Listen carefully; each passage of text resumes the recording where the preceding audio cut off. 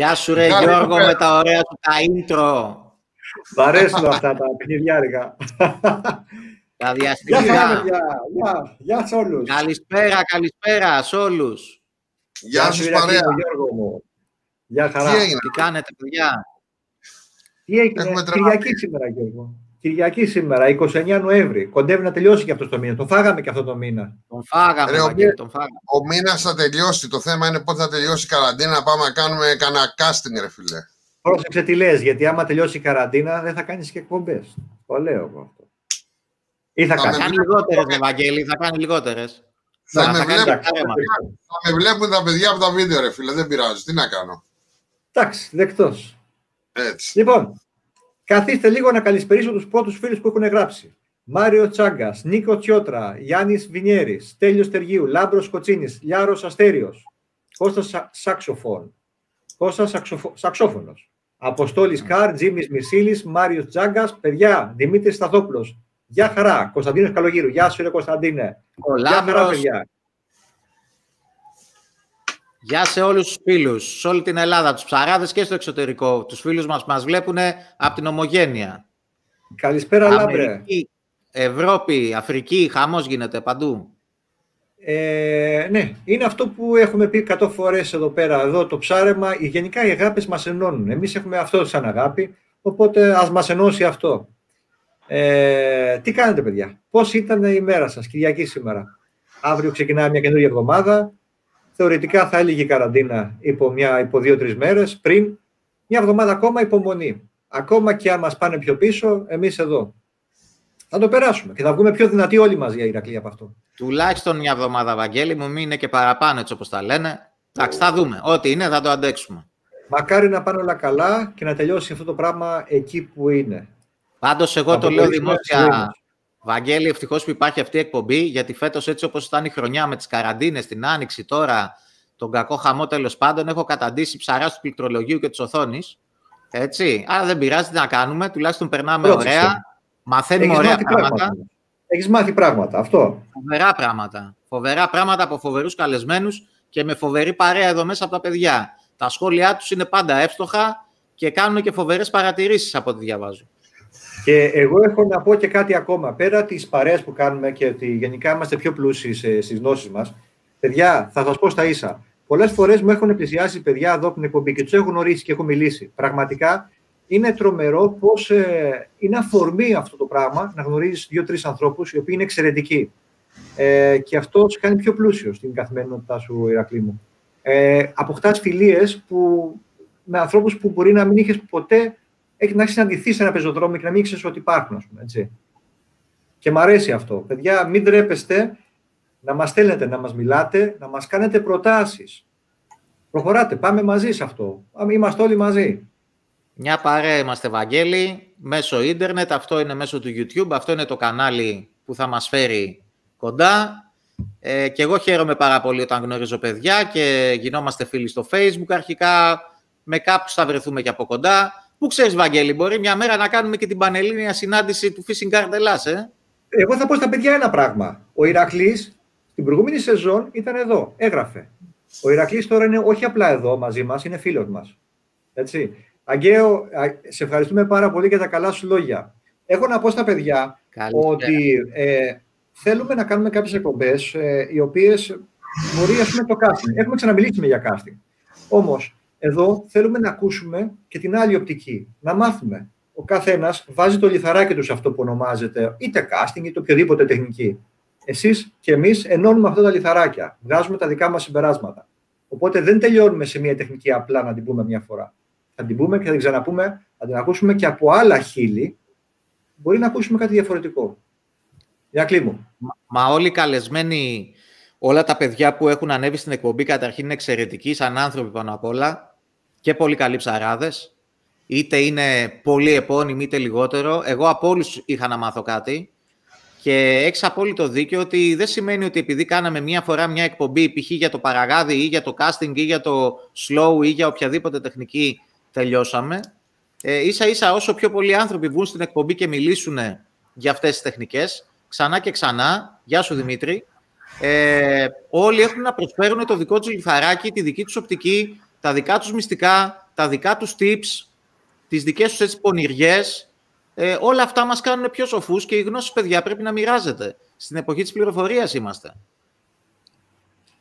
Όχι μόνο αυτό, δεν χρειάζεται να κρύβεται κάτι. Στην τελική, αυτό που κάνουμε, το κάνουμε για το χόμπι μας, το κάνουμε για να περνάμε όμορφα, το κάνουμε για να μην απογοητευόμαστε, και να κάνουμε παρέα. Γεια σου Γιώργο, καλώς ήρθες πάλι μαζί μας. Δημήτρη yeah. Νασούλας, την παρέα μας και κοντά σας, θα τολμήσω να το πω τώρα, την άλλη Παρασκευή κιόλας. έτσι. Η άλλη όψη του και αθλητικού casting θα λέγαμε, σιγά σιγά. Θα μάθουμε και αυτό. Λοιπόν, σιγά σιγά πάμε να ξεκινήσουμε, να μην αφήσουμε σε άλλο σε αναμονή τα παιδιά και σε αγωνία. Ναι, νομίζω ότι είμαστε... το μάθημα. Και σήμερα έχουμε εκλεκτό καλεσμένο, παιδιά. Πάμε να τον φέρουμε, να τον γνωρίσουμε κι αυτόν. Πού είστε, παιδιά; Γεια σου, Γιώργο. Καλησπέρα, Γιώργο. τι κάνετε.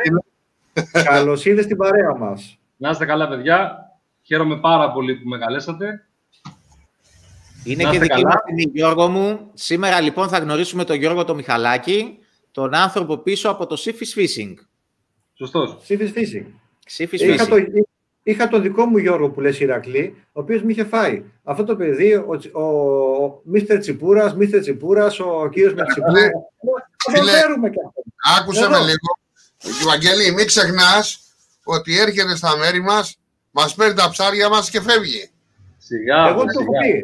Εδώ πέρα δεν θα ξαναπατήσει για να ψαρέσει τσιπούρα εάν δεν πάρει τηλέφωνο πρώτα. Να πει παιδιά έρχομαι. Τώρα δεν περνάει τότε, θα, τότε θα σε αφήσω μόνο να πάει. Εγώ, εγώ σας είπα, να λήξει επιτέλους το lockdown και θα έρθω στα μέρη σας λοιπόν και θα κάνουμε ένα ψάρεμα μαζί. Έτσι, ωραίος. Όχι, και ένα πολλά ψάρεματα θα κάνουμε μαζί, Γιώργο. Και εγώ θέλω να πω ότι ο Γιώργος δεν κάνει μόνο την τσιπούρα και το casting και τα λοιπά, κάνει πολλά ψάρεματα, είναι εξαιρετικός ψαράς. Εγώ μάλιστα τυχαίνει να είμαι και πελάτης του γιατί είναι πολύ κοντά μου και τη μισή επιτυχία στα παραγάδια την οφείλω στα δολώματα που αγοράζω από τον κύριο. Να ξέρετε, προμηθεύει με κορυφαίας ποιότητας δολώματα. Λοιπόν, όλα, όλα θα τα κάνουμε. Όλα. Ε, Ηρακλή, εσύ τον ξέρεις τον Γιώργο. Εγώ όμως τον γνώρισα πρόσφατα και θα ήθελα να τον μάθω λίγο. Λοιπόν, τι θα έλεγες να μάθουν, να τον μάθουν και οι φίλοι μας; Βεβαίως, όπως πάντα λέμε στα παιδιά, θέλουμε να τον άνθρωπο, Γιώργο, τον άνθρωπο πίσω από τη Sifis Fishing, όπως και πίσω από κάθε εταιρεία ε, ή κατάστημα το οποίο βγάζουμε στην εκπομπή. Οπότε, Γιώργο, Όπως λέμε πάντα στους καλεσμένους μας, θέλουμε έτσι να μας πεις λίγο την ιστορία σου, πώς ασχολήθηκες ναι. με το ψάρεμα, πώς ασχολήθηκες με τα ιδεαλίας, γενικά έτσι να σε γνωρίσουμε. Ναι. Εντάξει, αρχικά ε, να πω ότι το όνομά μου είναι Γιώργος Μιχαλάκης, πολλοί με λένε Σύφη. Και λένε, ναι. ρε φίλε, Γιώργος σε λένε, το Σύφης που κολλάει. το Σύφης λοιπόν είναι το όνομα του πατέρα μου και είναι και το όνομα του μαγαζιού που όταν το άνοιξε τότε ήταν στο όνομα Σύφης και όταν ανέλαβα εγώ τη δουλειά, το κράτησα τιμητικά το όνομα και το έχω μέχρι τώρα και πάω με αυτό το όνομα. Του πατέρα μου είναι άκρος τιμητικό για μένα προσωπικά. Δηλαδή, στο ΣΥΦΙ γυρνάς και εσύ. Στο ΣΥΦΙ γυρνάς, δηλαδή όταν σε φωνάξουν. Όταν σε φωνάξει κάποιος ΣΥΦΙ, γυρνάς. Η μισή ΣΥΦΙ με λένε. Κοίταξε, επειδή οι Γιώργηδε είναι πολύ. Αν με φωνάξεις Γιώργο, μπορεί και να μην γυρίσω. Στο ΣΥΦΙ θα γυρίσω 100%. Καλώς ήρθες στην παρέα μας και ο Μιχάλης Τσαγκαράκης, ο φίλος μας από την Κρήτη. Γεια χαρά. Γεια σου, Μιχάλη. Ακόμα σε περιμένουμε, Μιχάλη. Έλα, σταμάτα το παιδί. Είναι, είναι πατριώτης, είναι στο γάζι Ηρακλείου. Εγώ Ηρακλειώτης είμαι. Όπως Δεν το ξέρω προσωπικά, αλλά τον λέω πάρα πολύ, πάρα πολύ καλό. Λοιπόν, λοιπόν, να σου πω τώρα δύο πράγματα για μένα αυτό που λέτε. Ε, ε, συγγνώμη, Γιώργο. Ναι. λοιπόν, Πώς ασχολήθηκα με τη δουλειά; Με τη δουλειά ασχολήθηκα, με έβαλε μέσα ο πατέρας μου το 1981 όταν άνοιξε το μαγαζί. Ήταν και η ημερομηνία αμέσως μετά που γεννήθηκα. Και, ναι, και γεννήθηκα πραγματικά μέσα στη δουλειά, μέσα στο μαγαζί. Η μάνα μου είχε από, τη, από το καρότσι εκεί μέσα. Εκεί μέσα μεγάλωνα με τα σκουλίκια, με τα δολώματα.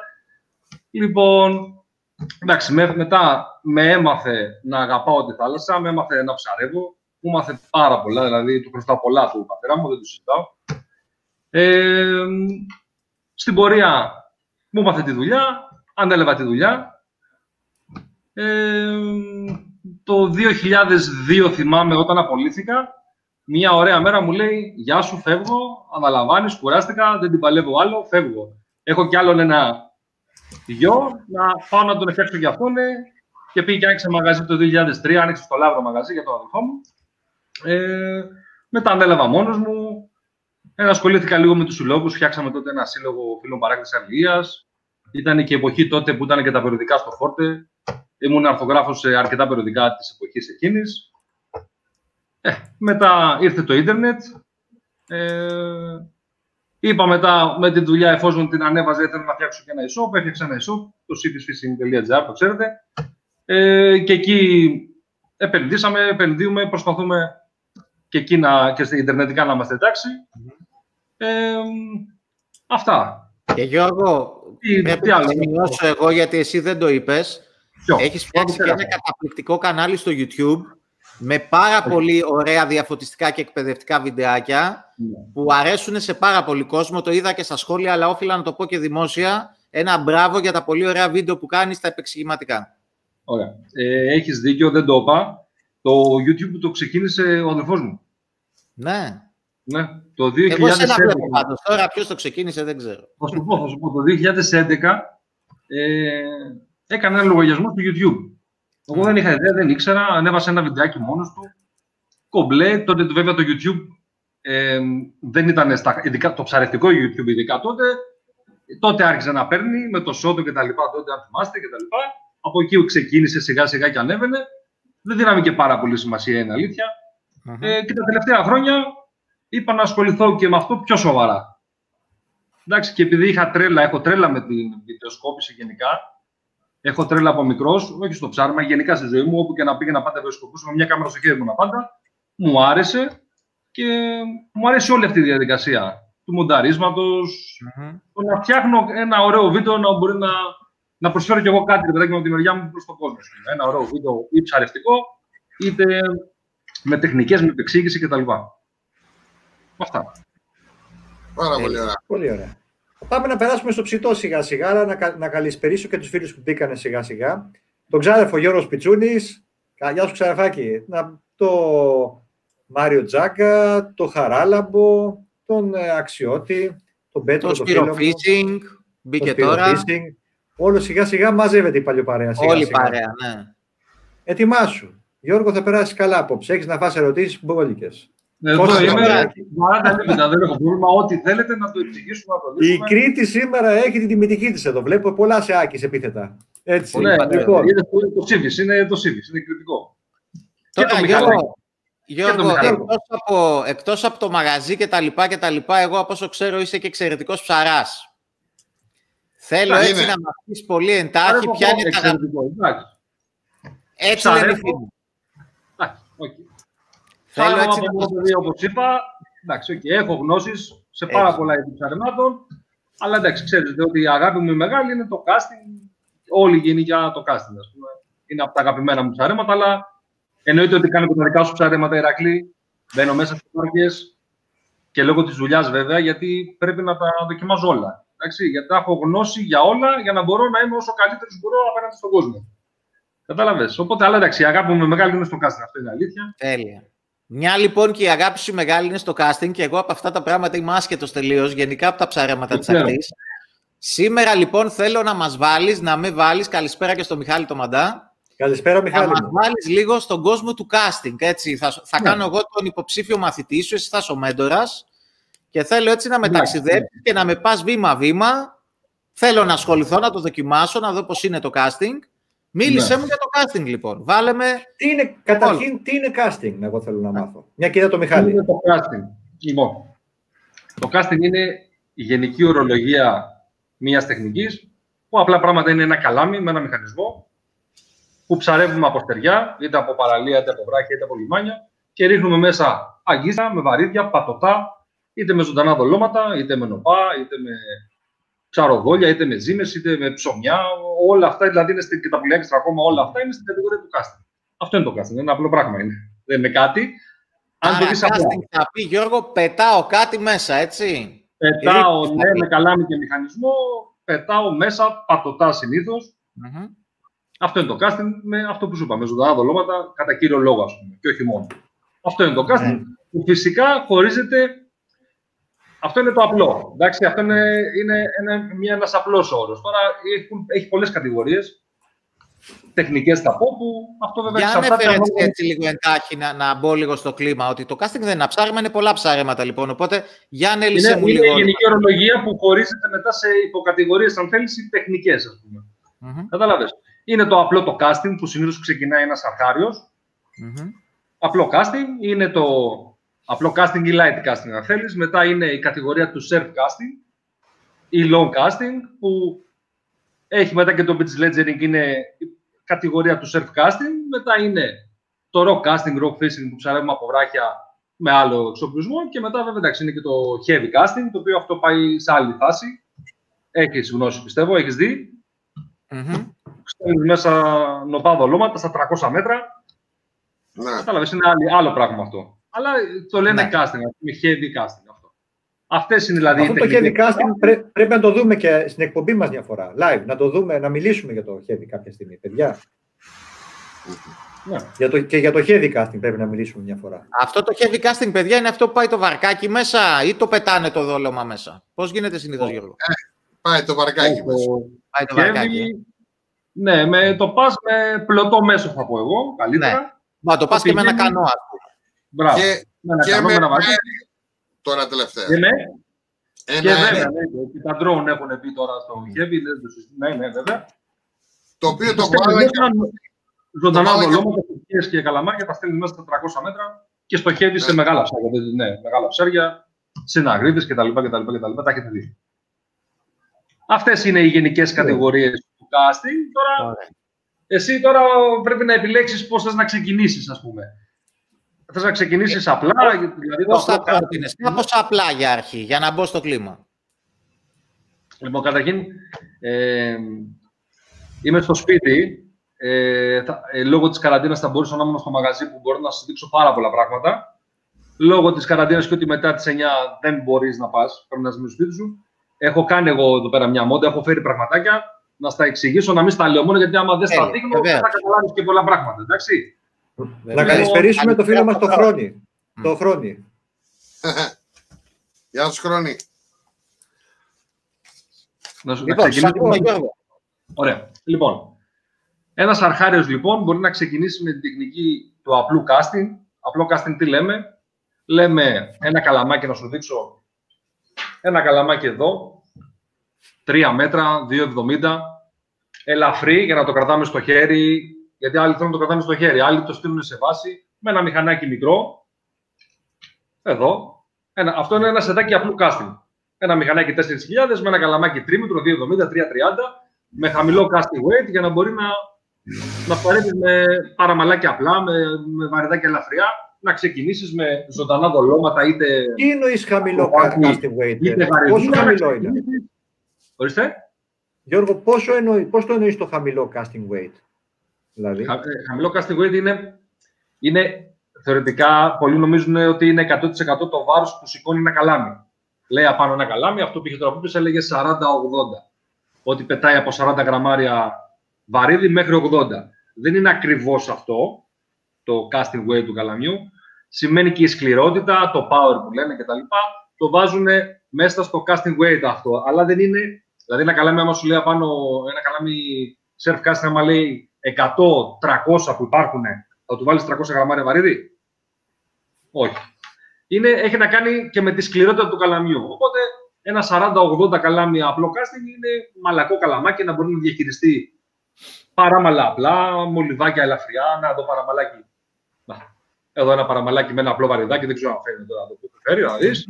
Μμμ. Τα Φαίνεται. κλασικά τα παραμαλάκια να ξεκινήσεις με μικρά αγκιστράκια, να δολώνεις ακροβάτι, να δολώνεις γαριδούλα, να παίξεις έτσι να γλυκαθείς λίγο που λέει ο λόγος με, με ψαράκια και σιγά σιγά να μπεις στο κλίμα αυτό και να ξεκινήσεις μετά με ίσως μια πιο πάνω κατηγορία. Συγγνώμη Συνήθως- Γιώργο που σε διακόπτω, αλλά δεν μπορώ να μην Διακόπτω. πω καλησπέρα στον πολύ καλό μου φίλο τον Κώστα το Σαφρά, που μόλις μπήκε και μας χαιρετάει, όπως και στον Καλησπέρα. Αντώνη το Λαγουταρέλη που μπήκε στην παρέα μας Και στον τώρα. Αντώνη, καθώς και τη, και τη φίλη μου τη Σταματία, τις οποίες έχω υποσχεθεί ότι θα τη μάθω να ψαρεύει σήμερα. Κατάλαβα. Λοιπόν, και ε, ε, με αυτό το σετάκι τώρα το απλό Γιώργο, έτσι, τι, Ναι. τι δολώματα θα βάλω, πού θα πάω, σε τι ψάρια θα στοχεύσω, για έτσι πες μου λίγο για το απλό το, το εισαγωγικό. Κοίταξε, αν θέλεις, ψάρι. Ακριβώς. Το, αυτό είναι ένα, ένα starter εξοπλισμός για να ξεκινήσεις να κάνεις, Ναι, να ναι. μπεις στο- στον κόσμο του casting, ας πούμε. Αν θες να το κάνεις απλά, οικονομικά αν θέλεις, απλά, για να μπεις στο κλίμα. Δολώματα, όπως είπα, μπορείς να δολώσεις είτε ζωντανά, που τα έχεις εσύ τα ζωντανά δολώματα, από τα παραγάτια γιατί δεν έχεις πρόβλημα. Μπορείς να ξεκινήσεις με ακροβάτη, μπορεί να ξεκινήσεις ξέρω εγώ, με γαρίδα, μπορεί να ξεκινήσεις με... με μαύ- έχει πολλά δολώματα, μαύρα σκουλίκια, διάφορα, αμερικάνικα. Λεπτά δολώματα γιατί ψαρεύεις κατά κύριο λόγο με πιο μικρά αγκιστράκια. Οχταράκια, εννιαράκια, εκεί είναι τους ξεκινάνε οι αρχάροι. Με λεπτά δολωματάκια, πάνε σε μια παραλία, πάνε σε ένα βραχάκι, παίζουν είτε με πετρόψαρα, είτε καμιά μουρμουρίτσα, απλά πραγματάκια. Χωρίς αυτό βέβαια να σημαίνει ότι δεν μπορεί να χτυπήσει κάποιο ψάρι αξιόλογο, ε. Εντάξει, συμβαίνουν και αυτά. Τώρα, αν θα το βγάλεις, αυτό εξαρτάται από πολλά πράγματα. Εντάξει, αλλά κατά κύριο λόγο στοχεύει σε ψάρια πιο μικρά με το casting, το light casting, αν θέλεις, ή απλό casting. Έτσι ξεκινάς. Και μετά, αν θέλεις, ανεβαίνεις κατηγορία. Ωραία, για πάμε λοιπόν να ανέβουμε λίγο ένα επίπεδο. Φαντάζομαι το επόμενο επίπεδο που μπαίνει κάποιος έτσι στην ουσία είναι το surf casting, αν δεν κάνω λάθος, έτσι. Ακριβώς. Ακριβώς. Ωραία. Surf casting. Γι' αυτό θα Ναι. αναλύσουμε και διεξοδικά σήμερα λοιπόν για τους φίλους της εκπομπής μας. Ακριβώς. Όχι Ναι. ακριβώς, Ηρακλή. Δεν ξέρω αν θα μιλήσουμε για το self casting ή θα μιλήσουμε για αυτό το casting που θεωρούμε εμείς στην Ελλάδα που ότι γίνεται. Δεν είναι Ναι. ακριβώς self casting. Είναι κάτι ενδιάμεσο από beach ledgering που λένε ουσιαστικά μουρμουροψάρεμα έτσι, και self casting. Θα μας τα πει Μπορώ όμως να ο το ειδικός εξηγήσω. καλύτερα. Ειδικός. Εντάξει, μπορώ να σου το εξηγήσω απλά. Λοιπόν, Εμένα ρώταμε για φάρμακα, Γιώργο, άρα αναγκαστικά το Γιώργο ρώτα τον για, για τσιγάρα ηλεκτρονι- ηλεκτρονικά. Ο Ηρακλής για άλλα. Εσύ ο ειδικός για αυτά. Τέλος.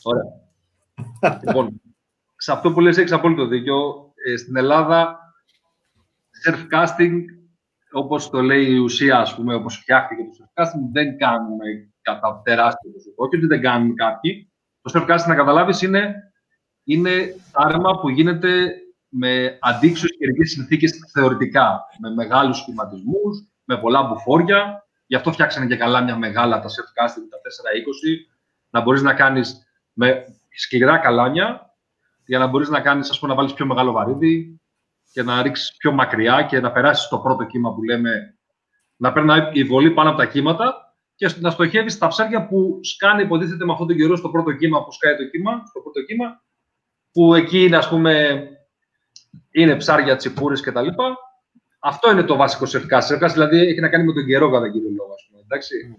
Που στην Ελλάδα ένα μεγάλο ποσοστό προτιμεί, προτιμάει να πηγαίνει για ψάρεμα με ήπιες καιρικές συνθήκες. Αλλά τους ενδιαφέρουν οι μακρινές βολές. Οπότε το λένε surf casting, αλλά κανονικά στην Ελλάδα κάνουν long casting. Ρίχνουν μακρινές βολές και το ονομάζουμε surf casting όλο αυτό. Αυτό λοιπόν είναι, αυτό είναι το surf casting που Μάλιστα. σου είπα. Λοιπόν, τώρα είναι όπως το λες εσύ, όντως long casting λέγεται, το οποίο και αυτό χωρίζεται σε κατηγορίες όπως το πες. Είναι το beach ledgering, είναι η ελαφριά κατηγορία του surf casting.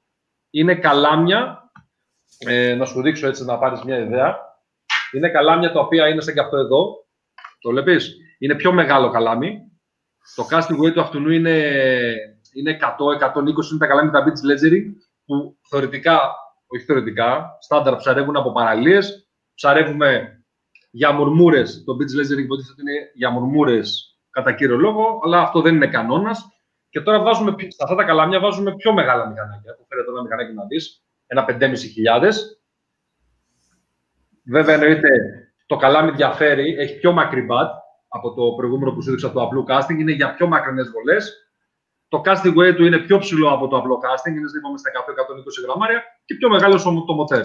Είναι δηλαδή 5.500 το μοτέρ. Βάζουμε απάνω πιο πολλά μέτρα μπετονιά και κάνουμε πιο μακρινές βολές, αλλά όμως κατά κύριο λόγο με λεπτά εργαλεία. Αυτό είναι το beach ledgering. Ψαρεύω μουρμούρες με λεπτά εργαλεία, με διπλάκες, τρισί τριπλάκες στις τραυματοσιές και με δολώματα που είναι με δολώματα τα οποία είναι για μουρμούρες όπως σου είναι για το αμερικάνικο, το μαύρο και άλλα δολώματα που ψαρεύουν για μουρμούρες. Αυτή λοιπόν είναι η, η γενική ορολογία του beach ledgering με πιο λεπτά εργαλεία. Και μετά, άμα θες να ανέβεις, ας πούμε να πας για τσιπούρες, να πας με, σε πιο χοντρά εργαλεία, είναι μετά το surf casting. Εντάξει, το beach ledgering, surf casting ή low casting για μακρινές ρήψεις. Εκεί μετά υπάρχει άλλος εξοπλισμός, είναι πιο μεγάλα γαλάμια να σου δείξω. Όπως αυτό εδώ πέρα. Αυτό είναι ένα τηλεσκοπικό surf casting καλάμι καθαρό αίμο, που τα casting weight των καλαμιών ξεκινάνε από 150, 180, 200, 170. Έχει διάφορα casting weight, σκληρότητες καλαμιών. Τα καλάμια λοιπόν αυτά παίρνουν και πιο μεγάλα μοτέρ. Παίρνουν 8.000, 10.000. Βλέπεις διαφορά; Βαγγέλη Ρακλή, καταλαβαίνεις τη διαφορά. Ναι, Φαίνεται; είναι πολύ μεγαλύτερο αυτό το μηχανάκι, ε. Πολύ. Ναι. Έχει πιο... Η, η μπομπίνα του είναι πιο long μπομπίνα, είναι πιο ανοιχτή. Είναι για πιο μακρινές ρήψεις. Και τα καλάμια βέβαια είναι 4-20. Τα βαρύδια που δέχονται είναι πιο μεγάλα, 100-120 γραμμάρια, ανάλογα με το casting weight του καλαμιού. Εκεί λοιπόν βάζουμε πιο χοντρά εργαλεία, βάζουμε άλλες αρματοσχές, πιο εξειδικευμένες αρματοσχές στο surf casting και στοχεύουμε κατά κύριο λόγο σε τσιπούρες, όχι μόνο, σε σαργούς, ανάλογα και τους τόπους που αυτό βέβαια έχει να κάνει και με τόπο. Αυτό λοιπόν είναι και το surf casting. Αυτός είναι ο εξοπλισμός που χρειαζόμαστε από καλάμι και μηχανάκι. Στο surf casting βέβαια υπάρχουν καλάμια και τρίσπαστα. Θα δείξω, να σου δείξω και ένα τρίσπαστο καλάμι να πάρεις ιδέα. Και Γιώργο, αν έχεις την καλοσύνη, σε μένα που είμαι άπειρος τελείως, Ναι. δεν θα ήθελα έτσι λίγο να πεις ποια είναι τα υπέρ κατα- και τα κατά οι διαφορές του δύσπαστου, του τρίσπαστου, δηλαδή αυτών των διαφορετικών καλαμιών. ναι, για το surf casting λέμε τώρα. Ναι, ναι. Γιώργο, είδα και ένα καλάμι το οποίο είχε ρυθμιζόμενη την ε, λαβή. Ναι. Σε Πάρα surf casting πολύ. καλάμι. Γιατί Η ξέρω, ρυθμιζόμενη λαβή, ναι. το άνοιγμα των χεριών το δικού μου με του Βαγγέλη έχει διαφορά. Καταλαβαίνετε. Ναι. Και αυτό ρυθμιζόταν, ήταν πάρα πολύ. Δηλαδή το είδα πρώτη φορά φέτος. Ειλικρινά δεν το ήξερα, έπαθα πλάκα μόλις το είδα. Όχι, αυτό υπάρχει χρόνια. Ε, Το ξέρω. στο surf casting αυτό δεν είναι τόσο διαδεδομένο. Να ξέρεις. Δηλαδή οι εταιρείες πλέον, γιατί πιο παλιά βγάζανε. Τώρα πλέον δεν υπάρχουν πολλά καλάμια με surf casting καθαρό αίμα λέμε τώρα που να είναι αυτό με το slide grip να ανεβοκατεβαίνει η βάση του μηχανισμού. Δεν υπάρχουν πολλά, κατά, δηλαδή κατά 90% μη σου πω είναι τα καλάμια όλα στάνταρ. Ας πούμε, το μπα του καλαμιού του surf casting διαφέρει καλάμι με καλάμι. Αυτό που λες έχεις δίκιο βέβαια ότι άλλο άνοιγμα έχω εγώ, άλλο άνοιγμα έχει ένας πιο ψηλός, άλλος. Ναι, είναι λογικό. Αλλά εντάξει, είναι ρυθμισμένα έτσι, τόσο ώστε να βολεύουν σχεδόν όλο τον κόσμο. Και μπορεί να γι' αυτό κάποιος τα πιάνει τα καλάμια και τα δοκιμάζει, για να δει και τι τον βολεύει. Από Ωραία. θέμα άνοιγμα χεριών. Άρα πάμε στις διαφορές των ε, τριών καλαμιών. ε, του τηλεσκοπικού, του δύσπαστου και του τρίσπαστου. Ναι. Αυτό το ρωτάνε πολύ. Πραγματικά το ρωτάνε πολύ. Σου λέει άλλος τι καλάμι να επιλέξω, ας πούμε, για να ξεκινήσει. Άμα είναι να ξεκινήσεις, είναι πιο απλό. Άμα είναι να ξεκινήσεις το, το surf casting, ξεκινά κατά κύριο λόγο με ένα τηλεσκοπικό καλάμι. Εντάξει. Είναι πιο εύκολο για έναν αρχάριο ένα τηλεσκοπικό από ένα τρίσπαστο ή από ένα δύσπαστο. Εντάξει. Το δύσπαστο είναι ακόμα πιο δύσκολο. Ε, θα σου Φαντάζομαι πω- λόγω μήκο μιλάς, έτσι. Το μήκος, ε, λόγω το μήκος είναι το δύσκολο, αυτό που θεωρείς. Για το δύσπαστο, ναι. Μεταφορά. Η μετα... Μεταφορά ναι, του. το δύσπαστο, ε, θεωρητικά το δύσπαστο υπερτερεί από όλα, ας πούμε. Είναι, θεωρητικά είναι καλύτερο επειδή είναι δύο στελέχη, ένα καλά με δύο στελέχη, έχει πιο πολλά συν. Αλλά το μεγάλο του μειονέκτημα είναι το ότι δυστυχώς δεν κλείνει. Είναι δύο μέτρα το λιγότερο. Κλειστά και στη μεταφορά του είναι πολύ δύσκολο. Γι' αυτό και τα δύσπαστα η αλήθεια είναι ότι έχουν κάνει κοιλιά. Ναι. Και οι εταιρείες πλέον σιγά σιγά. Εντάξει, οκ, ο κόσμος έχει μία τάση πλέον στα, στα τρίσπαστα. Δηλαδή, ένας όχι τελείως αρχάριος, ένας που, έχει- που ψαρεύει, έχει περάσει από το τηλεσκοπικό. Η μόδα τώρα αυτή τη στιγμή είναι πιο πολύ στα τρίσπαστα στο surf casting. Καλά, δεν είναι κανόνας. Απλώς έχει μία τάση να ανεβαίνει το τρίσπαστο τώρα τελευταία και το δύσπαστο έχει πέσει αρκετά. Ας πούμε, πολλοί δεν τα προτιμάνε τα δύσπαστα για αυτό το λόγο, για τη μεταφορά. Λοιπόν, τα, το κάθε καλάμι, λοιπόν, είτε είναι τηλεσκοπικό είτε είναι τρίσπαστο, έχει πλεονεκτήματα και μειονεκτήματα. Και τα δύο. Εντάξει. Λοιπόν, ένα, ένα καλάμι τηλεσκοπικό, το πλεονέκτημά του είναι, κατά κύριο λόγο, είπαμε ότι όχι, μπορείς να φτιάξεις αρματοσιά κατευθείαν πάνω στο καλάμι. Ένας, γάζος- ένας αρχάρης μπορεί να κάνει στο σπίτι του και να αρματώσει το καλάμι. Προτείνω να μην βάζει τα βαρύδια πάνω. Μπορεί να έχει την αρματοσιά του έτοιμη, ας πούμε, με το σύσι του κτλ. Χωρίς βαρύδια πάνω, γιατί τα σπάνε στις μεταφορές τα καλάμια. Αν βάζουν απάνω βαρύδια, έχουν έτοιμη την αρματοσιά τους, πάνε στη θάλασσα, στείλουν τη βασούλα τους, έχουν το καλάμι έτοιμο, κουμπώνουν το βαρύδι και ρίχνουν. Εντάξει. Έχει πλεονέκτημα λοιπόν το τηλεσκοπικό ότι μπορεί να το έχεις έτοιμο και ότι δεν είναι ρε μου το στήσε, βάλε καλάμι, κούμπονε, κούμπονε, βάλε μοτέρ, ξεκίνα, παίρνα παράμαλα, δέσε αγίστια κτλ. Ειδικά αυτό για να αρχάρουν είναι δύσκολο. Εντάξει. Λοιπόν, και επίσης, άμα θες να αλλάξεις ένα τόπο, ας πούμε, μέσα στο βράδυ, ας πούμε, έκατσε 6-7 ώρες, δεν έχεις επιτυχία. Θες να αλλάξεις, ας πούμε, και όταν έχεις ρίξει 4 γαλάμια και είναι τρεις παστά, είναι λίγο δύσκολο. Κόψε, ράψε, αλλά θες μια ώρα να φύγεις, να πας σε άλλο μέρος. Οπότε το, το τηλεσκοπικό εκεί βοηθάει πιο πολύ.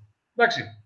Λοιπόν, αυτές είναι οι βασικές, ας πούμε, τα βασικά πλεονεκτήματα και έχει κι άλλο ένα πλεονέκτημα πιο βασικό για μένα, το τηλεσκοπικό από το τρίσπαστο, που τώρα τελευταία τα τρίσπαστα το έχουν βελτιώσει κατά πάρα πολύ, ειδικά για τα δικά μας δεδομένα, γι' αυτό και έχουν ανέβει σε πωλήσεις.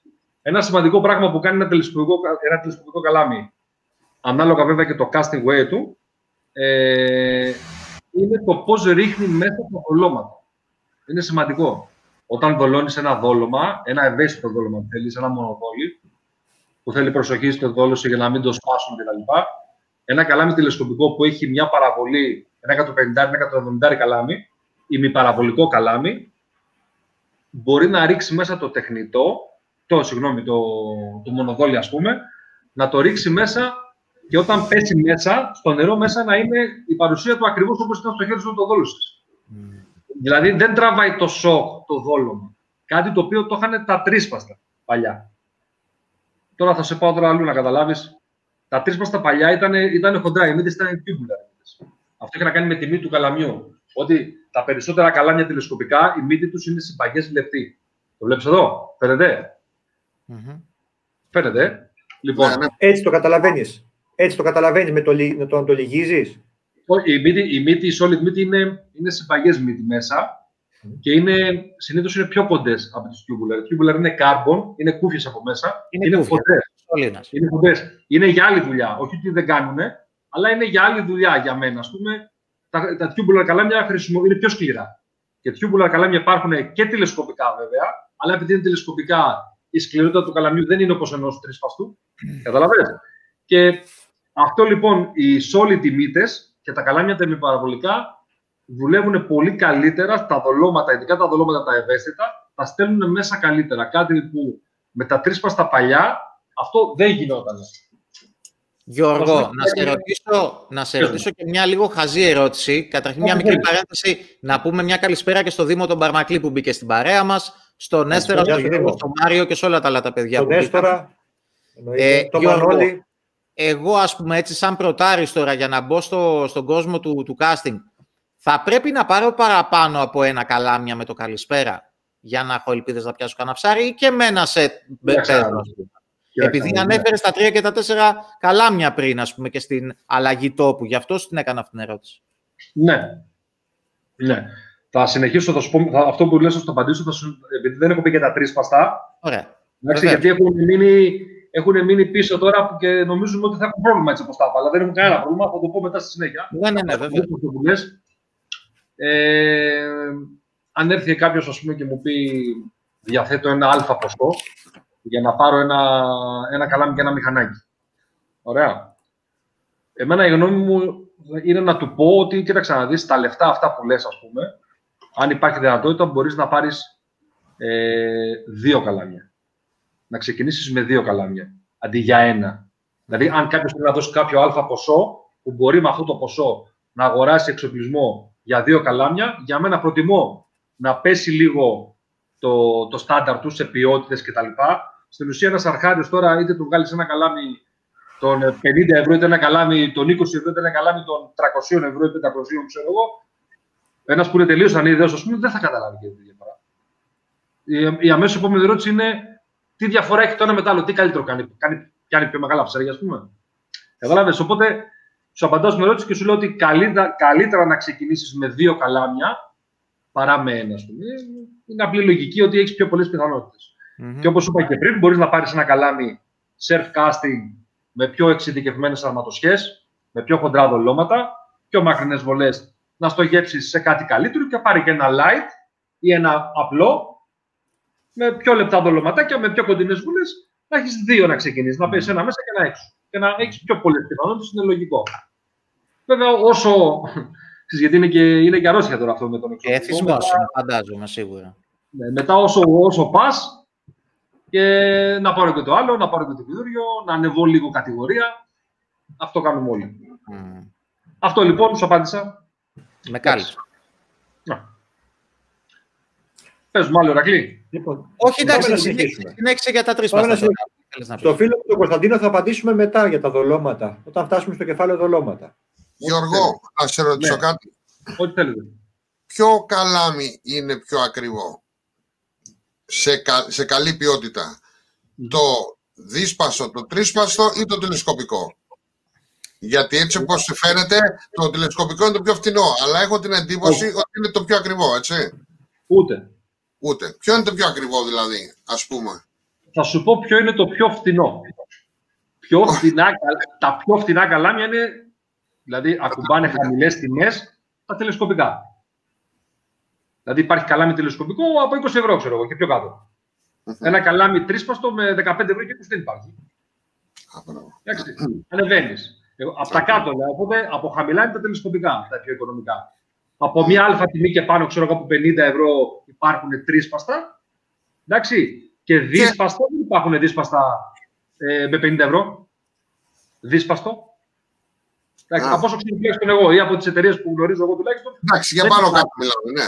Τα δύσπαστα, ναι, τα δύσπαστα είναι ακόμα. Οι χαμηλές τους τιμές είναι πιο ψηλά. Μπορεί να είναι, ξέρω εγώ, από 100 ευρώ, ας πούμε. Και πάνω.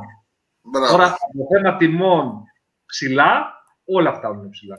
Έχει καλάμια τηλεσκοπικά με 700 ευρώ. Τηλεσκοπικό ναι. καλάμι με 700 ευρώ. Έχει καλάμια τρίσπαστα στα ίδια λεφτά, άμα θέλεις. Mm-hmm. Από 50 ευρώ μέχρι 700. Και τριτίσπαστα.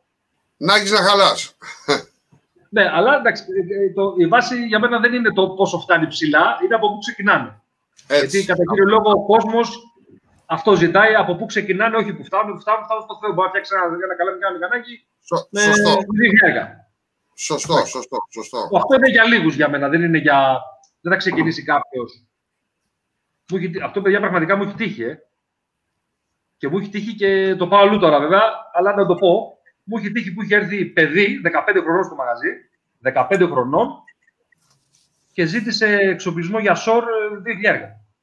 Oh. Τα καλύτερα. Και του λέω ρε φιλέρα και του λέω πλάκα μας κάνεις τώρα. 15 χρονών παιδάκι τώρα, ε. Θέλεις εξοπλισμό 2.000 που δεν έχεις πιάσει καλά με του σορ και να κάνεις σορ. Τσάμπα θα πάει. Τσάμπα θα πάει. Δηλαδή, εντάξει, δηλαδή σε φάση που του λέω δεν στο δίνουμε. Δηλαδή δεν θα καταλάβεις κάτι. Ξεκίνα με κάτι πιο οικονομικό. Εντάξει, ο, ο, το παιδί είχε δει, από ό,τι ξέρετε, εντάξει, είχε δει πολλά βίντεο, είχε αυτό και τα λοιπά. Εντάξει, OK. Okay. Ήθελε να πάρει κάτι καλό. Ναι, να πάρεις κάτι καλό, αλλά να είναι, να μπορείς να καταλάβεις και στην πορεία, ας πούμε, τις διαφορές. Mm-hmm. Δηλαδή δεν μπορείς να πεις, ας πούμε, τώρα που λες Ηρακλή Αρχάριος. Είναι δυνατόν τώρα να ξεκινήσεις να βγάλεις δίπλωμα για μηχανάκι, ξέρω εγώ, και να σου δώσω Hayabusa μηχανή 1200 κυβικά. Α, σκοτώθηκα, βέβαια. Ε, έτσι πάει. Δηλαδή ξεκινάς από ένα σημείο. Δεν σου λέω ε, κάποιος που θέλει να έχει κάτι ποιοτικό. Εντάξει, OK, okay, ναι. Εννοείται.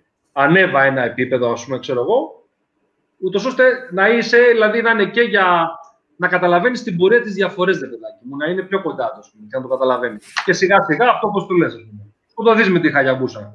Ξεκινά με ένα δεσπαπάκι, πάρε κάτι ένα σκούτερ πιο καλό, πιο ακριβό.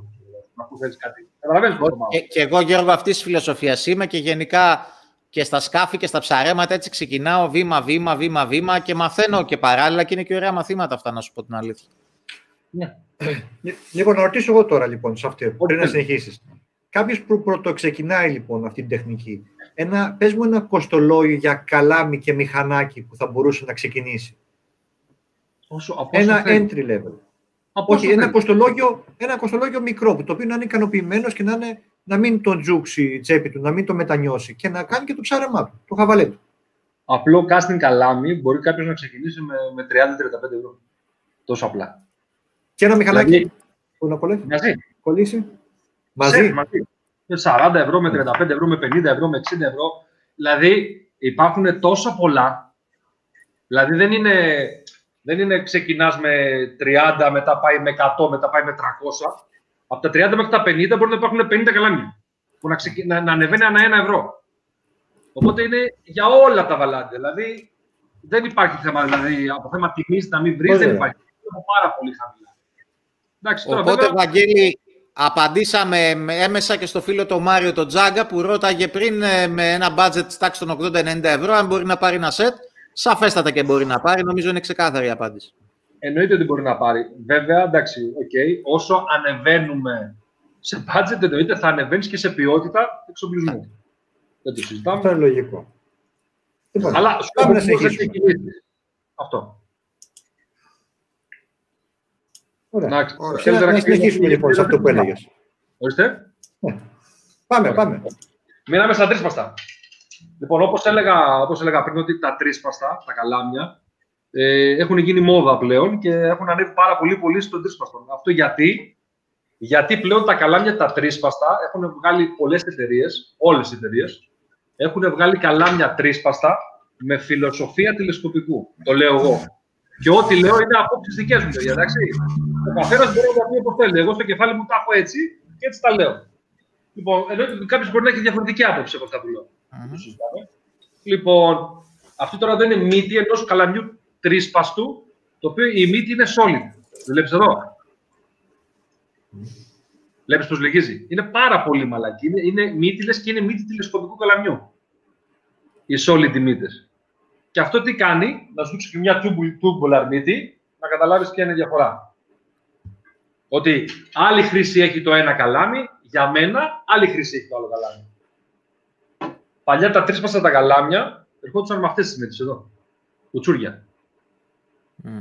Τα πέρα τα καλάμια πιο αριστερά. Κάτω λίγο, να το δούμε λίγο, τη μύτη του. Εκεί, εκεί. Ναι. εκεί. Ναι, ναι, ναι. ναι, ναι.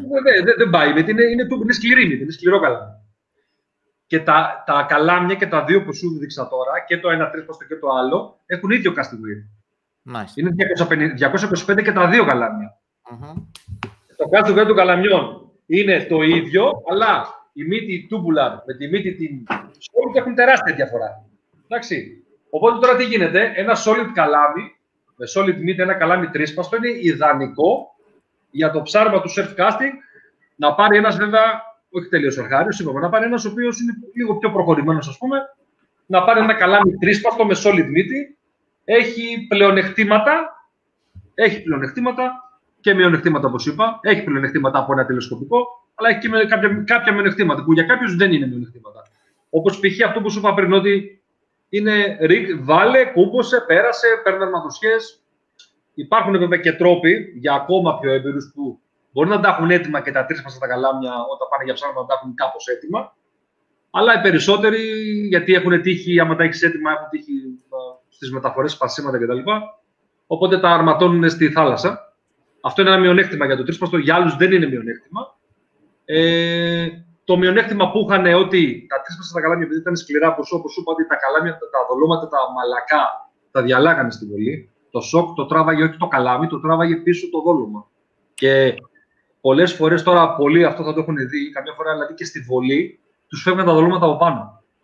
Με τα πολύ σκληρά καλάμια. Τα μαλακά δολώματα, ξαναλέω, ε, αμερικάνικα, μαύρα, μονοδόλια, ευαίσθητα δολώματα. Δεν σου λέω τώρα να δολώσω άλλο, ξέρω εγώ, καλαμάρι φιλέτο με ελαστικό νήμα. Και να του πείτε το μέσα μου ό,τι καλάμι θέλεις. Αυτό δεν έχει πρόβλημα. Κατάλαβε. Για μαλακά δολώματα μιλάω.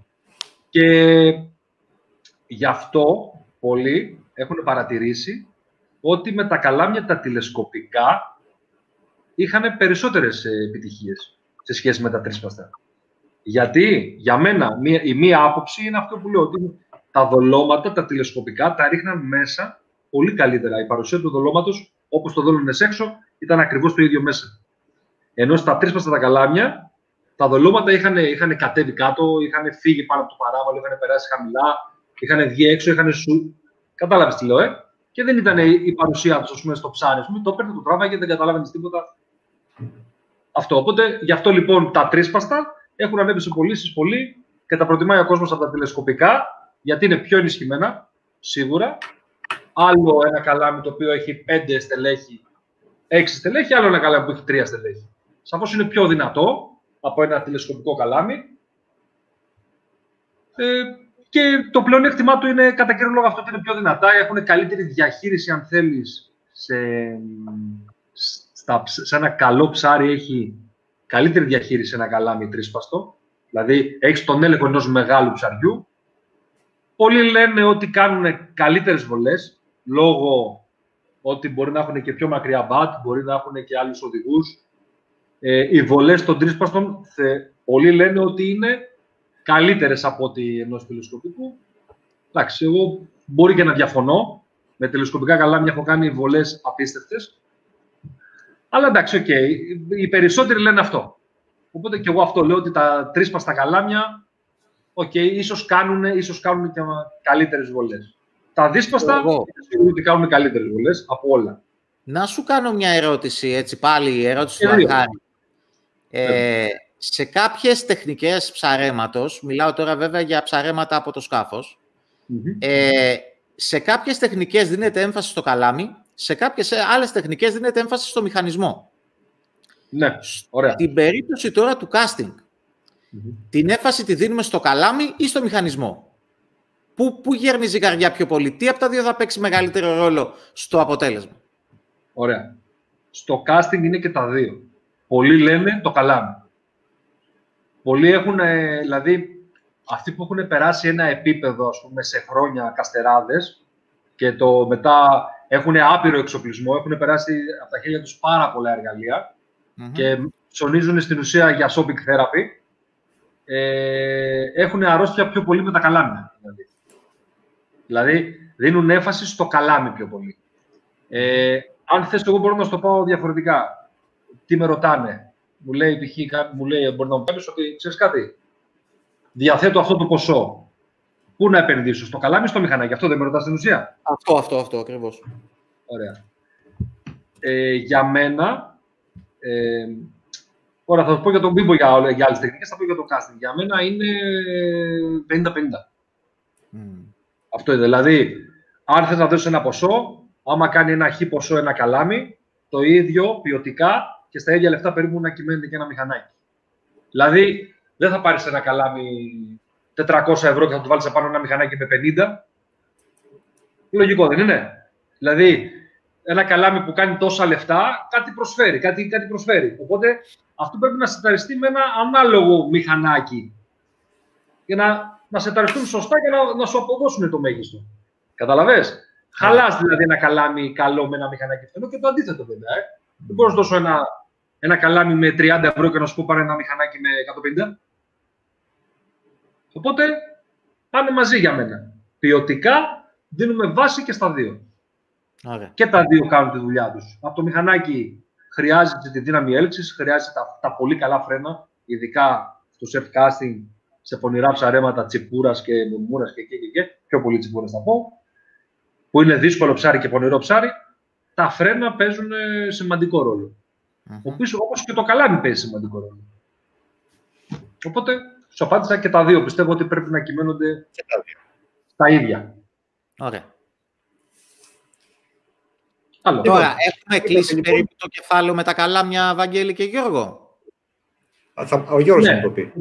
Ωραία. Ε, ε, ναι. Το λέω αυτό γιατί κοντεύουμε, εντάξει, σε λίγο θα πιάσουμε το πρώτο μισό της εκπομπής και εγώ έχω σημειώσει εδώ ολόκληρη λίστα από θέματα να μας μιλήσει για, για, για αρματοσχέδια, για βαρύδια, για... Οπότε, Όχι, δεν τα υπεραναλύσεις, τα λες φοβερά. Απλά, αν το κλείσαμε το κεφάλαιο, σε πάω παρακάτω για να καλύψουμε όλη τη θεματολογία και να μείνει και χρόνος για ερωτήσεις του κόσμου. Ωραία, πάμε. Ό,τι θέλεις. Με τα καλάμια καλυμμένα. Απάντησα για τα τρίσπαστα, τηλεσκοπικά. Απάντησα. Ε, OK, okay, προχωράμε. Πες μου ό,τι θες εσύ. Λοιπόν, περίμενε. Πάρε μια ανάσα. Εφόσον καλύψαμε τα τρία καλάμια, να κάνουμε ένα μικρό διαλειμματάκι και να πούμε, Ηρακλή μου, τα δικά μας. Τους διάβολους καταρχήν, Βαγγέλη. Ε, θέλω, θέλω να δράπτω με τις ευκαιρίες αυτό που είπε ο, ο, ο Σπύρος Fishing. Mm. Ε, και θα πω, καταρχήν, παιδιά, γραφτείτε στο κανάλι μας. Έρχονται live ωραία, να είστε ενημερωμένοι. Να απαντήσω τώρα στο Σπύρο. Γιατί είπε ότι με δύο χιλιάρικα παίρνεις μια ηλεκτρική μηχανή. Δεν χρειάζεται, Δεν χρειάζεται τίποτα. Να, να είσαι φίλος του καναλιού και μπορεί να την κερδίσεις. Γιατί έρχεται διαγωνισμός από το Τσούρο Μαρίν. Βάζουν τα παιδιά μια ηλεκτρική άγκυρα Ρήνο, το οποίο θα κληρωθεί 1η Γενάρη του 2021. Άρα ο μήνας ο Δεκέμβρης είναι μήνας δώρων. Έτσι. Χριστουγεννιάτικο, ε, και εορταστικός και με δώρα από εμάς κιόλας και τους φίλους μας. Και όχι μόνο, Ηρακλή, έχουμε κι άλλα. Περίμενε γιατί μου το προσπερνάς, ρε Βαγγέλη. Εδώ μιλάμε για το δώρο, έτσι. Το δώρο. Δηλαδή, είναι, είναι ένα από τα καλύτερα δώρα ή το καλύτερο δώρο που έχει δοθεί στο YouTube για θέματα γύρω από ψάρεμα. Προσφορά της Τσούρος Μαρίν, παιδιά, για σας, μία ηλεκτρική μηχανή Ρήνο αξίας 1.500 ευρώ. Δεν έχει ξαναδοθεί τέτοιο δώρο, δηλαδή, έτσι το οποίο θα κληρωθεί, όπως είπε ο Βαγγέλης, την, πρώτη, την πρωτοχρονιά, εν πάση να μας με το καλό το 2021.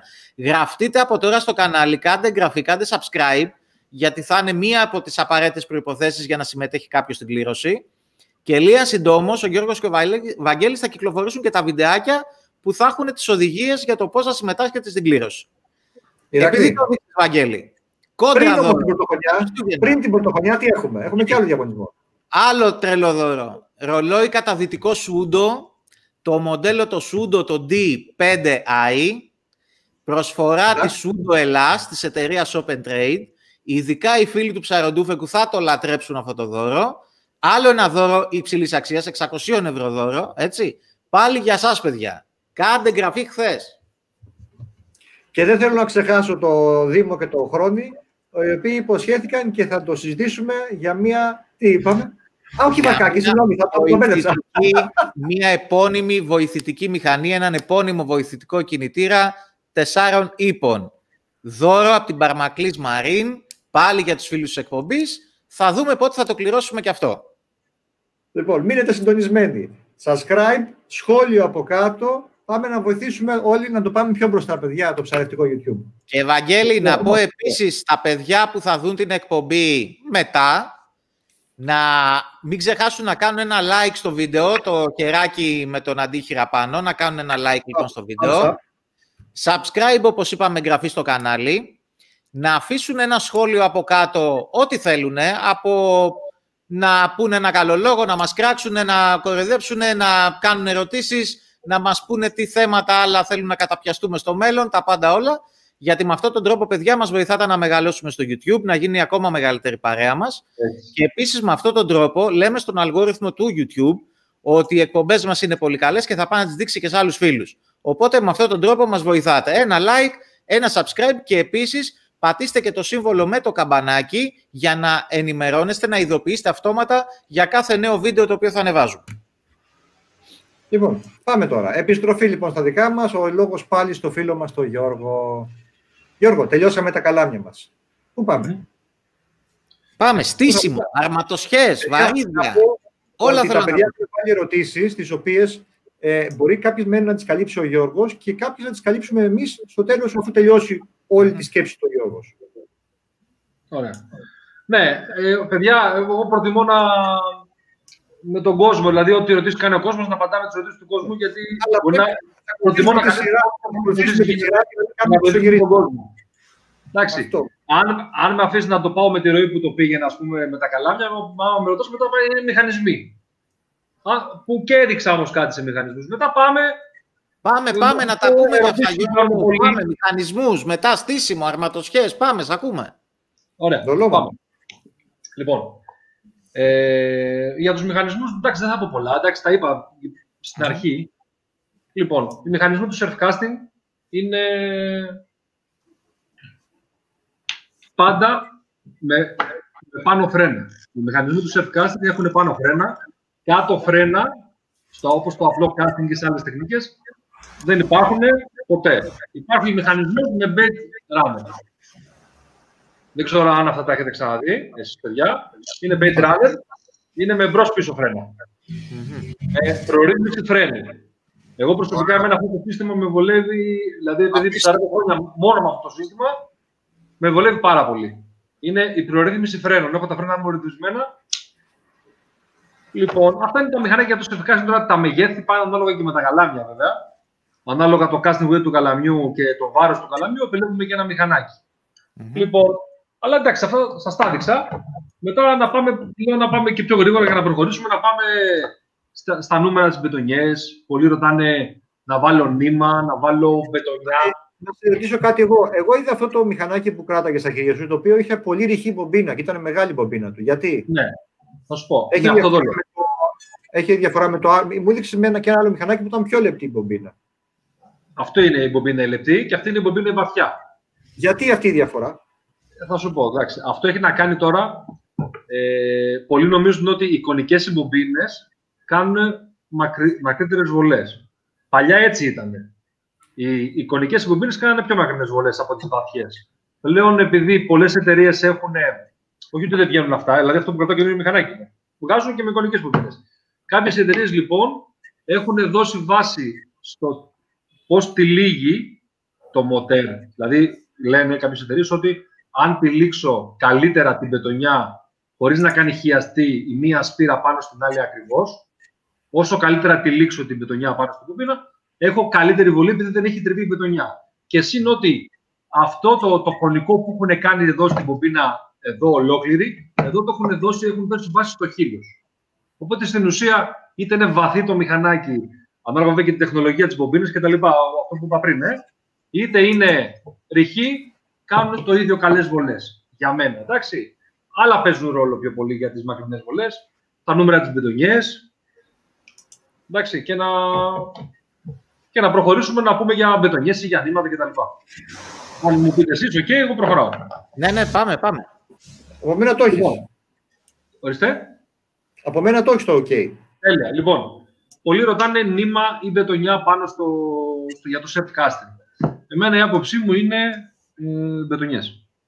Το νήμα έχει πιο πολλά μειονεκτήματα από μία μπετονιά για το surf casting. Εντάξει, έχει κάποια πλεονεκτήματα το νήμα που πρέπει να είναι συγκεκριμένες οι απαιτήσεις που έχεις για να χρησιμοποιήσεις νήμα. Νήμα που χρησιμοποιούμε πάνω στο μηχανισμό, χρησιμοποιούμε που είναι καλύτερο από την πιτονιά στα ρεύματα.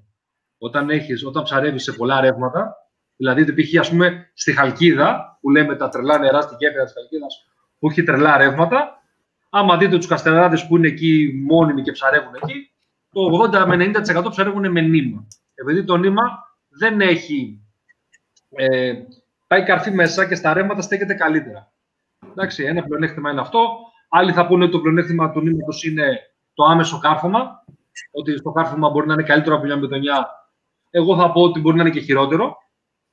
Εντάξει. Δηλαδή, για μένα το νήμα υπερτερεί στα, στα ρεύματα. Πολλοί νομίζουν ότι κάνει και καλύτερες βολές. Οκ.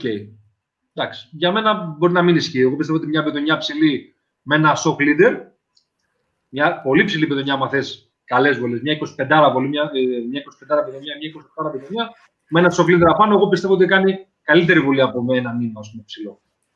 Και, και έχει και πλεονεκτήματα τον, η μπετονιά από το νήμα για μένα.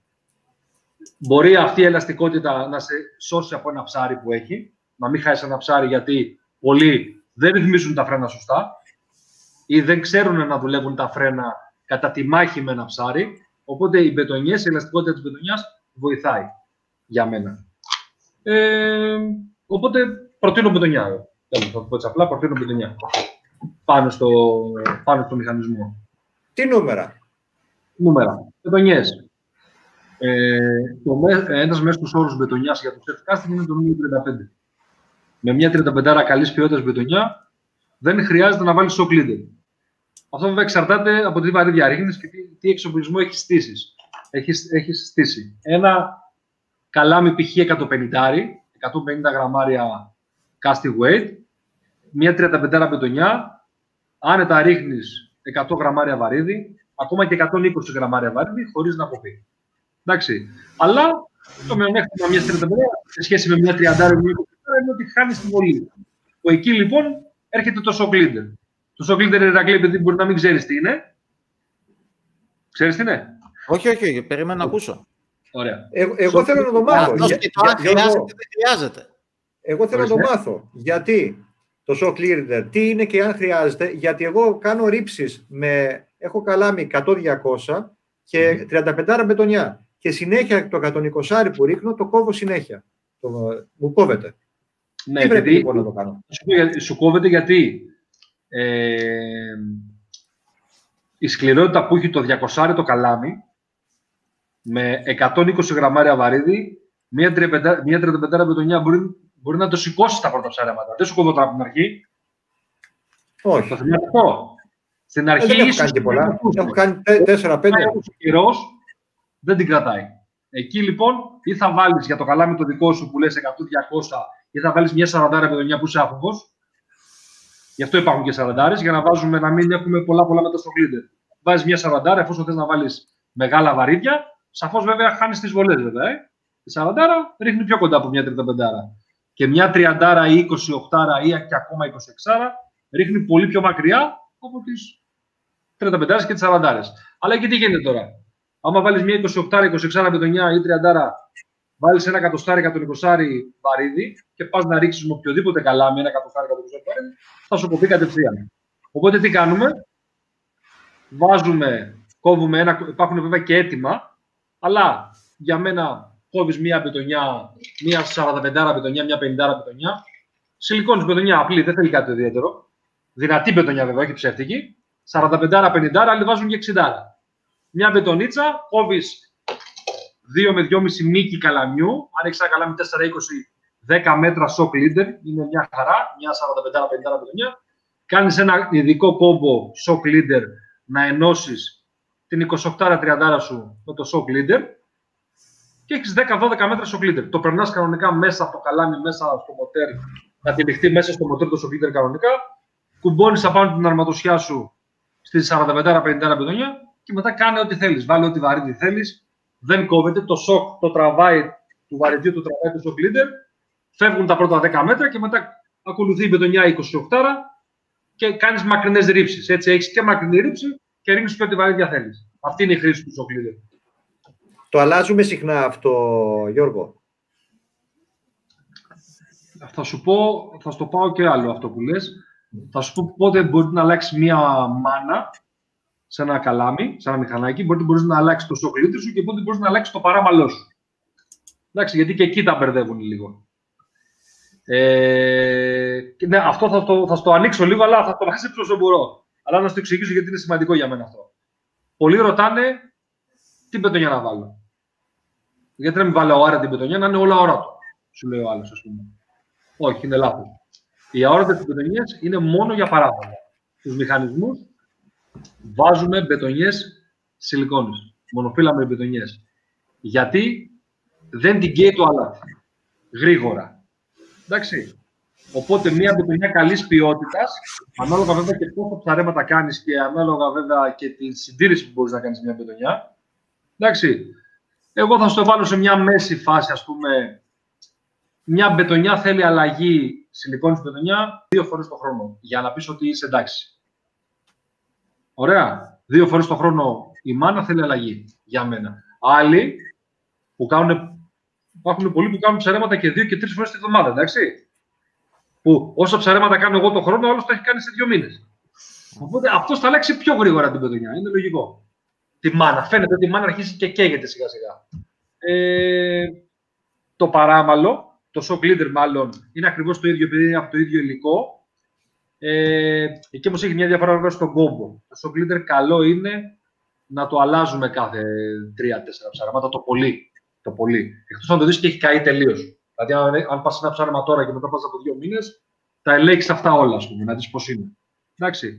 Αυτό που αλλάζεις, για μένα που αλλάζεις σε κάθε ψάρεμα, είναι το παράμαλο, το άορτο. Το άορτο το παράμαλο, σε πάω σε άλλο θέμα, αλλά είναι μαζί αυτό. Το άορτο το παράμαλο έχει πλεονέκτημα, εννοείται ότι ο δείκτης διάθαλασση της μπετονιάς είναι πολύ μικρός και δεν είναι αόρατη μέσα στο νερό για τα ψάρια, όχι για μας. Ε, αυτό είναι το πλεονέκτημά της, αλλά το μειονέκτημά της είναι ότι ε, την καίει το αλάτι γρήγορα.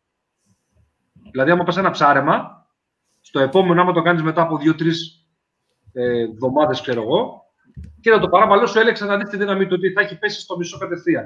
Επειδή θα έχει καεί. Οπότε το παράμαλο θέλει αλλαγή. Κάθε ψάρεμα για μένα. Αν τα κάνεις κοντινά, άμα πας σήμερα για ψάρεμα, πας και αύριο, ξέρω εγώ, μετά από δύο μέρες, το αφήνεις απάνω, αλλά πάντα ελέγχεις τους κόμπους, πάντα ελέγχεις να δεις αν είσαι όλα κομπλέ. Και στην τελική είναι και κρίμα αν θέλεις να χάσεις ένα ψάρι που περιμένεις ώρε για να πάρει ένα ψάρι της προκοπής και αν το χάσεις επειδή δεν έχεις αλλάξει ένα παράμαλο. Αυτή είναι η άποψη. Και Γιώργο, Σε αυτούς- 10 μέτρα είναι το shock leader. Το παράμαλο πώς, τι μήκος έχει, που είπες θα είναι φλωροκάρμπον αυτό; Το παράμαλο τι μήκος έχει. Τώρα να περάσουμε στις αρματοσχέσεις.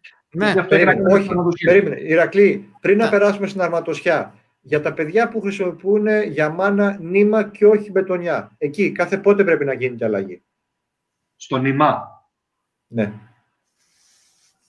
Κοίταξε, το νήμα πάλι, το νήμα σαφώς αντέχει περισσότερο την μπετονιά.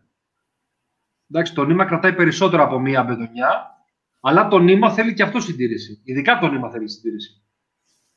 Δηλαδή, άμα θες να κρατήσεις το νήμα πάνω από χρόνο, γίνεται, αλλά το πεις τώρα ποιος το κάνει αυτό. Κανονικά αυτό μπορεί να το κάνεις και στην πεντονιά, βέβαια. Ε, Μπορείς να πάρεις μία ρόδα, ένα καρούλι, να βγάλεις το νήμα, τα 100 μέτρα, 80 πόσα έχεις δείξει μέσα στο νερό, φαίνεται το νήμα πάνω στο μοτέρ, φαίνεται ποιο είναι χρησιμοποιημένο και ποιο από μέσα είναι καινούριο.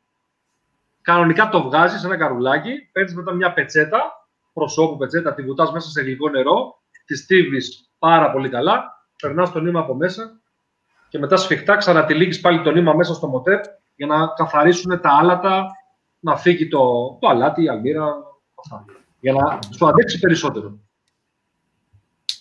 Ωραία. Αυτό για το νήμα. Αλλά άμα το κάνεις αυτό, μπορεί να σου κρατήσει και χρόνο και παραπάνω. Αυτό. Να, για το νήμα. Πρέπει να, πούμε, πρέπει να πούμε καλησπέρα και στον ε, οριστό Νοϊό. Λοιπόν, τον Κώστα το Γενίκη. Τον Κώστα το Γενίκη. Πρέπει να πούμε, Γιώργο, ότι γιατί υπάρχουν κάποια παιδιά που διαφωνούν σε κάποια πράγματα. Και καλά, εννοείται. Εγώ, παιδιά, ότι... σας είπα ότι το είπα αυτό είναι απόψεις δικές μου. Είναι απόψεις Μπράβο, αυτό, αυτό ακριβώς. Γιατί είναι κάποιοι που έχουν κάποιες αμφιβολίες, κάτι διαφωνούν κάπου. Πρέπει να πούμε ότι αυτή τη στιγμή ε, ο Γιώργος μας λέει για τα δικά του πιστεύω και τη δικιά του γνώμη. Οποία... Και τα ψαρέματα, κοίταξε, και τα ψαρέματα που κάνω εγώ. Α, μπράβο. Ναι. Εμένα με ρωτάνε αν είναι για το νήμα, π.χ. παράδειγμα. Για το νήμα, για το νήμα είναι, για το νήμα είναι, ναι. Για το νήμα είναι, το, το ξέρω ότι είναι για το νήμα. Χωρί να πω κάτι, είναι για το νήμα. Πολλοί διαφωνούν με το νήμα. Εντάξει, εγώ προσωπικά με νήμα δεν ψαρεύω. Δεν θέλω νήμα. Γιώργο. Και να πω και κάτι άλλο που δεν το είπα, είναι σημαντικό. Δεν μπορείς να βάλεις νήμα σε οποιοδήποτε μηχανάκι, σε οποιοδήποτε καλάμι. Αυτό ήθελα να σου λέγα. Αυτό είναι σημαντικό. Δεν θα πάρεις δηλαδή ένα, ένα καλαμάκι αυτά που σου έδειξα Ερακλής στην αρχή για να ξεκινήσεις και το βάλεις απάνω νήμα να κάνεις κάστη.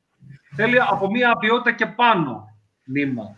Γιατί το νήμα και ένα από τα μειονεκτήματα του νήματος ε, σε κάποια καλάμια και κάποιους μηχανισμούς είναι ότι, ε, ότι τον εξοπλισμό μας τον, ε, αλλοιώνουν οι οδηγοί, το νήμα, χαλάνε και το νήμα. Κύριε, ναι, έχει φθορά. Το line roller από το μοτέρ δεν αντέχει νήμα, δεν είναι πολλά ε, μηχανάκια, όχι πολλά, πολλά είναι μηχανάκια που μπορεί να διαχειριστούν νήμα, αλλά είναι σε πιο πάνω κατηγορία. Mm. Εντάξει, ένας έμπειρος που χρειάζεται να βάλει νήμα, γιατί είπα και το νήμα έχει πλεονεκτήματα, έχει κάποια πλεονεκτήματα.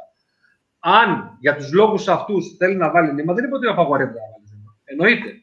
Εγώ λέω στη δική μου ότι Πού υπερτερεί το νήμα, πού υπερτερεί η μπετονιά και το τι κάνω εγώ. Στους τόπους που ψαρεύω εγώ, τα μέρη που ψαρεύω εγώ, με τον τρόπο που ψαρεύω εγώ. Βάζω μπετονιά. Αλλά την αλλάζω συχνά. Αυτό είναι αλήθεια. Και να σου το πω και διαφορετικά. Επειδή τώρα είπες ότι διαφωνούν και θέλω να το πω γι' αυτό.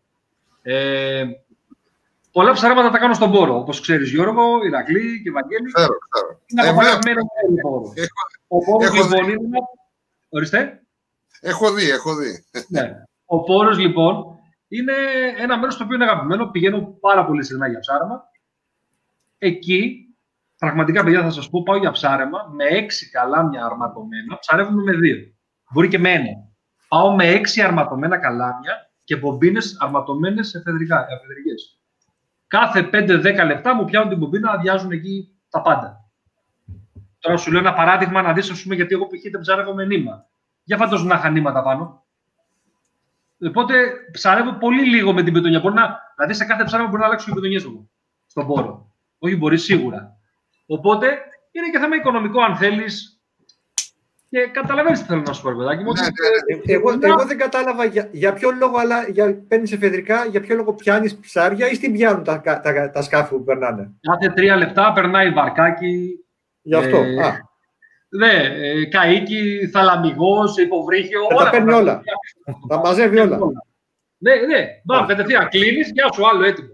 Δεν είναι. Οπότε εκεί, εγώ προσωπικά ψαρεύω με μπετονιές, να το πω έτσι απλά. Ε, για πολλούς και διάφορους ε, λόγους. Στο φίλο τον Κώστα που, λέει, που μου ρωτάει για νήμα, είναι καλό να βάζει κάποιο σπρέι σιλικόνης πάνω στο νήμα του; Ε, εντάξει. Εντάξει. Εντάξει, οκ. Πολύ, ε, για μένα η καλύτερη, η καλύτερη λύση, ας πούμε, για να κρατήσω το νήμα σου είναι αυτό που είπα. Εγώ γενικά σε εξοπλισμούς, σε πετονιές, σε νήματα, σε καλάμια και μηχανάκια, δεν προτείνω οτιδήποτε υλικά βάζουν WD-40, ε, σπρέι σιλικόνης σε καλάμια, σε μηχανάκια και στο νήμα και στις πετονιές. Δεν τα προτείνω. Εγώ προτείνω αυτό που είπα, πετσετούλα, καθαρίζουμε τον εξοπλισμό μας καλά, ε, με στεγνό καθάρισμα και δεν βάζω πάνω τίποτα. Και μια τελευταία ερώτηση για να περάσουμε στο επόμενο κομμάτι. Στους φίλους μας που λένε για τον μπετονιά, ο, αν μπορούν να την κάνουν τράμπα, ε, τούμπα μάλλον. Εννοείται. Το μπρος πίσω. Εννοείται. Αυτό το προτείνω σε όλο τον κόσμο για οποιαδήποτε τεχνική. Ειδικά όσοι βάζουν νήματα σε τεχνικές που είναι υποχρεωτικά με νήμα.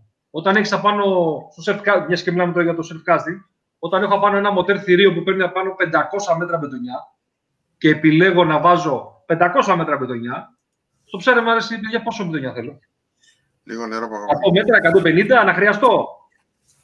Άντε, εγώ σου λέω 200 μέτρα. Τα πίσω μέτρα που έχεις από τα 500 τα 300 μέσα είναι καινούργια. Άθιχτα.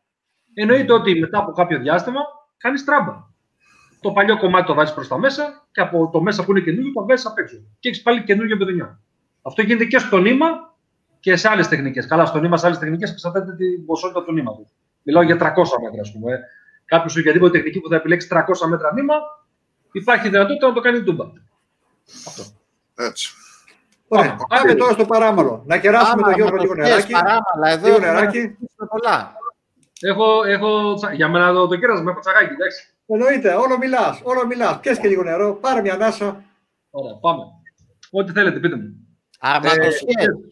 Να μιλήσουμε για τον Τραβέντο λίγο, το οποίο είναι Έλα. κάτι το οποίο Όπα. πολύ δύσκολο που δεν Το γνωρίζει. τραβέ- Το τραβέτο είναι το τελευταίο κομμάτι. Είπα, Να πιάσουμε όλη την Ναι, αρμάτια. όχι, να μην το ξεχάσουμε, είναι ένα κομματάκι το οποίο Το μιλήσουμε. Ενδιαφέρει και εμάς, Βαγγέλη. Πάμε. Αρματοσχέδια για Αγαπώ. Αν μιλήσουμε λοιπόν για τσιπούρα, όπως μου είπες εσύ Γιώργο, θες να μιλήσουμε για τσιπούρα. Αν μιλήσουμε για τσιπούρα, λοιπόν, οι αρματοσχές για το surf casting για τσιπούρα, για μένα πρέπει να είναι μονάγιστρε. Εντάξει.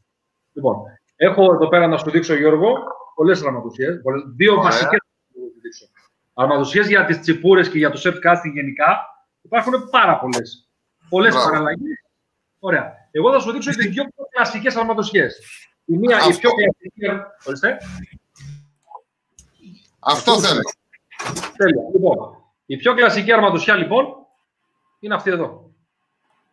Το κλασικό σύσι, το βλέπεις, σειρώμενο βαρύδι.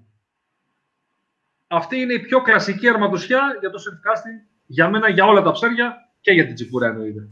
Εντάξει. Σύσι, μολυβάκι, χαντρούλα, στριφταράκι, το παράμαλό μας και τα γκίφια μας. Αυτή είναι λοιπόν το σύσι με σειρώμενο βαρύδι. Υπάρχουν οι αρματοσιές. Αυτό που μου είπες. Τι βλέπεις Γιώργο; Το Σταβέντο, ναι. Αυτή είναι η τραβέντο. Αυτό είναι σταθερό βαρύδι. Αλλιώς δουλεύει το σταθερό βαρύδι. Αλλιώς δουλεύει το σειρώμενο βαρύδι. Εντάξει, είναι τελείως διαφορετικό πολλά πράγματα. Και το στήσιμο των καλαμιών μας ακόμα και τα φρένα μας διαφέρουν σε αυτές τις δύο αιματοσχέσεις. Για μένα είναι τα δύο άκρα. Είναι τελείως διαφορετικές. Θέλει άλλο τρόπο στήσιματος να ψαρέψεις σειρώμενο βαρύδι, άλλο τρόπο συστήματος να ψαρέψεις σταθερό βαρύδι. Είτε είναι τραβέντο, είτε είναι σταθερό βαρύδι, είτε είναι pattern oster σταθερό βαρύδι με ένα παράμαλο ή με δύο παράμαλα από πάνω. Ε, θε- έχει άλλο τρόπο ψαρέματος. Εμένα με, εμένα με το σύσι, Γιώργο, Ναι. ε, ε, ενώ το προτιμάω γιατί με βολεύει, ξέρεις, ε, αλλάζω τα βαρύδια μου, μπαμ, μπαμ, πιο βαριά, πιο ελαφριά. Έλα, μου και μπερδεύεται, στο- ρε φίλε. Μου μπερδεύεται στη βολή. Σου μπερδεύονται στη βολή. Ωραία. Έχω πρόβλημα. Κάποιος μου είπε ένα μυστικό. Δεν Για θυμάμαι πες ποιος. μου. Ε, να μην ρίχνω τη βολή. Ε, να μην τη ρίχνω να φεύγει μπροστά η μύτη. Να κόβει η βολή μέχρι το κεφάλι μου. Θα σου πω ποιος το είπε. Ο Άκης το είπε, ο Τινιακός. Ο Άκης. Ο Πώς Άκης το ο είπε, Τινιακός. το θυμάσαι, πώς το είπε; Θα σου πω Νομίζω- εγώ, χωρίς να ξέρω ο άνθρωπος τι είπε, θα σου πω γιατί είναι πολύ σωστό αυτό που λέει. Πες το μου γιατί Έχει εγώ, ρόλο. εγώ ψαρεύω να Έχει καταλάβω ρόλο. με ελιά Ορίστε. σειρώμενη. Με ελίτσα σειρώμενη. Το βαριδάκι με την τρύπα. Μπράβο. Και δεν μπερδεύομαι και έχω το κεφάλι μου ήσυχο. Αλλά μου αρέσει το Σίση, αλλά με μπερδεύει. Δεν ξέρω, μάλλον φταίω εγώ στη βολή. Θα σου πω κάτι. Θεωρητικά, το Σίση, αυτό είναι το πλεονέκτημα σε σχέση με την παλιά αρματοσιά που φτιάχναμε με την ελιά. Ότι έχει λιγότερα μπερδέματα. Αυτή είναι η διαφορά του Σίση. Εσένα σου μπερδεύει για άλλους λόγους. Αλλά το Σίση, δηλαδή, κοίταξε να δεις. Εδώ βαρύδια να σου δείξω, ας πούμε, σειρώμενα βαρύδια που έχω εδώ πέρα. Αυτά είναι σειρώμενα βαρύδια. Μπράβο. Το δεις; Είναι σειρώμενα βαρύδια που περνάει από μέσα η μάνα, όπως την ελιά που λες εσύ. Τι γίνεται αυτό. Όταν το σειρώμενο βαρύδι το ρίξεις στον αέρα, τι γίνεται. Φεύγει μπροστά το βάρος, πάει πίσω το στριφτάρι με το παράμαλο και στον αέρα σου μπερδεύεται το παράμαλο. Ακριβώς. Και αν δεν σου μπερδευτεί στον αέρα, θα σου μπερδευτεί στη βολή όταν, όταν πέσει μέσα στο νερό και αρχίσει να μπερδεύεις. Στο πέσιμο μετά θα αρχίσει πάλι να μπερδεύεται. Εκεί ε, αυτά τα μπερδέματα τα γλιτώνεις με το σύσι, αλλά δεν είναι, ούτε αυτό είναι κανόνας. Και με το σύσι έχουμε μπερδέματα, αλλά έχουμε πιο λίγα μπερδέματα. Εκεί παίζουν μετά ρόλο οι τόποι και τα μήκη που βάζουμε στο παράμετρο και τι αρματοσία θα επιλέξουμε. Εντάξει, πάντως να ξέρεις ότι με το σύσι έχεις λιγότερα μπερδέματα από ότι με βολίδια σειρώμενα. Αυτό το ξαναλέω για να παρεξηγηθώ, είναι άποψη δική μου, εντάξει. Το έχω δει εγώ στα δικά μου ψάρεματα, αν θέλεις. Ότι με το σύσι, και να σου το πω και διαφορετικά, που το έχω σαν ε, γνώμονα για πολλά πράγματα εγώ προσωπικά, βλέπω το τι κάνουν και οι περισσότεροι. Εντάξει. Οι περισσότεροι καστεράδες, το κατά 80% ψαρεύουν με τέτοιου τύπου ή με σύση, ας πούμε, ή με τραβέντο ή με σταθερά. Η ελιά έχει μείνει λίγο πιο πίσω, ας πούμε, για τους πιο παλιούς, αν θέλεις, ας πούμε. Παραδοσιακούς. Πιο παραδοσιακούς. Ναι. Γιατί και εγώ παλιός θεωρούμε, αλλά εντάξει, προχωράω με την εξέλιξη, κατάλαβες. ναι, ναι, βέβαια. Σωστά. Μάλιστα. Άλλο. Βαγγέλη. Αρματζή, σας είπα, θες να σου πω για νούμερα, για παράμαλα κτλ. Τι θέλετε, ό,τι θέλετε να σου πω. Ναι, για ακίστρια. Θα θέλαμε να, να μας πεις το παράμαλο. Τι ρωτάει ο κόσμος, πείτε μου. Πόσα εκατοστά είναι το παράμαλο; Ορίστε.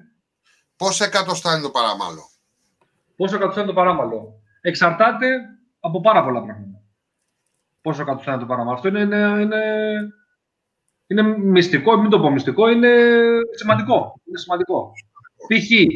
άμα θέλουμε να ψαρέψουμε τσιπούρα μέρα σε παραλία, και με ήπιες συνθήκες, όσο πιο μακρύ παράμαλο γίνεται.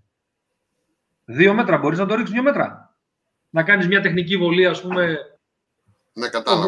βολή που το παράμαλο απλωμένο κάτω, βάλει και δυόμιση μέτρα, αν μπορείς να το ρίξεις. Όσο πιο μακρύ το παράμαλο, υπό αυτές τις συνθήκες και για πονηρά ψαρέματα, όσο πιο μακρύ το παράμαλο είναι ό,τι καλύτερο. Αν όμως π.χ. θες να πας σε μέρη τα οποία είναι με βαθιά νερά, το παράμαλο με πολλούς, με πολλούς τρόπους μπορεί να μην σου μπερδευτεί στον αέρα, ένα μακρύ παράμαλο. Μπορείς να βάλεις bait clip και άλλα πράγματα, να μην σου μπερδευτεί. Ε, στα βαθιά νερά όμως θα σου μπερδευτεί όταν κατεβαίνει. Οπότε στα βαθιά νερά βάζουμε, θα κάνουμε λίγο πιο κοντά τα παράμαλα και θα κάνουμε πιο κοντά, μπορεί να τα κάνεις στα βαθιά νερά και ένα μέτρο και 80 πόντους που λέω. από 80 πόντους μέχρι ένα 20. Στα σκαλώματα τώρα, στα βράχια, που ψάραμε από βράχια, από από ρόκο ε, ψάρεμα από τα βράχια, τα βάζουμε σε σκαλώματα ακόμα πιο κοντά. Ναι. Δηλαδή, εγώ που πάω για σαργούς ή σικιού, τα παραμαλάκια μου είναι τόσο. Όταν πάω σε ντέματα full όμως, ε, που δεν γλιτώνεις, βάζω ναι. παραμαλάκια τόσο. Και χοντρά βέβαια σε ντέματα. Πιο χοντρά. Δεν βάζω στην τσιμπούρα εκεί που να βάλεις ένα παράμαλο και 23. Πάλι ανάλογα με τον εξοπλισμό. Πρέπει να δέσει, πρέπει να πάνε όλα αυτά μαζί σωστά βέβαια. Εντάξει. Μπορεί να ψερέψω τσιπούρε με 23 παράμαλα με 26 παράμαλο, με 30 παράμαλο, ανάλογα και τις καιρικές συνθήκες. Εντάξει, στο σαργό, στο σικιό, σε ψαρέματα τα οποία είναι σε δύσκολους βυθού, τα κάνω πιο κοντά και ανεβάζω τα νούμερα. Βάζω 35. Αυτά και με το παράμαλο. Μάλιστα. Άλλο. Αγγίσια. Πάμε, νούμερα. Αγγίσια. Αγγίσια. Έχω Ανάλογα με το τι θα ψαρέψεις. Νούμερα και τύπους. Και τύπους. Μακρικότσαρα. Μπράβο. Λοιπόν, τα βασικά αλήθεια για το ψάρεμα Μαύρα, χρυσά. Λεξαναλέω πάλι για το ψάρεμα της Σιπούρια, επειδή Γιώργος εσύ έπρεπε για το ψάρεμα της Σιπούρια, θα σου πω. Για τις Σιπούρε θα μιλήσουμε. Και εμένα και το αγαπημένο μου ψάρι είναι αλήθεια. Θα σου πω. Δύο είναι τα αγκίτσια, τώρα δεν ξέρω τι φέρονται. Δύο είναι οι τύποι των αγκίτσιων. Για πάμε Λοιπόν, ξανά. Αυτό το αγκίστρι λοιπόν εδώ πέρα είναι το τύπου Aberdeen, με το μακρύ κοτσάνι και λεπτό κορμό. Μμμ. Και αυτό εδώ είναι τα τύπου τσίνου που λέμε. Είναι με βαθιά νούλα, μεγάλη νούλα, σφυρίλατα συνήθως αγκίστια, είτε είναι με κρίκο, καλά αυτό τώρα δεν μπορεί να φανεί, για να δω, είτε είναι με κρίκο είτε είναι με παλέτα τέλος πάντων. Οι βασικές κατηγορίες για το ψάραμα της τσιπούρας περισσότεροι το ψαρεύουν με αυτά τα δύο, είτε με αμπεντίν είτε με αγκίστρι τσίνου. Λοιπόν, τώρα τα νούμερα. Μελέτη. Τα Ένα νούμερα. αγκίστρι το οποίο έχω πάρει εγώ, το οποίο είναι τελείως γυριστή η μύτη του προς τα μέσα. Τα τσίρλι, ναι, τα τσίρλι, κάπως έτσι, τσίρλι τα λένε, ναι. Αυτά μου τα Τα έχουν κυκλικά. δώσει Κυκλικά. για τα τσιπουράκι. κυκλικά. Ναι. Δολώνεται λίγο δύσκολα Έχω άλλη άποψη. με τη βελόνα, αλλά μου τα έχουν δώσει υποτίθεται για το the best. Δηλαδή, γεια σας. OK, OK. Ναι, Δεν ξέρω. Ε, Μπορεί να υπάρχουν άνθρωποι που ψα... όχι μπορεί, υπάρχουν άνθρωποι που ψαρεύουν όλα τα ψάρια με κυκλικά αγκίστρια. Εντάξει, εμένα, εγώ π.χ. δεν ψαρεύω με κυκλικά αγκίστρια. Δεν μου αρέσουν τα κυκλικά αγκίστια, γιατί πιστεύω ότι τα άλλα δουλεύουν πολύ καλύτερα.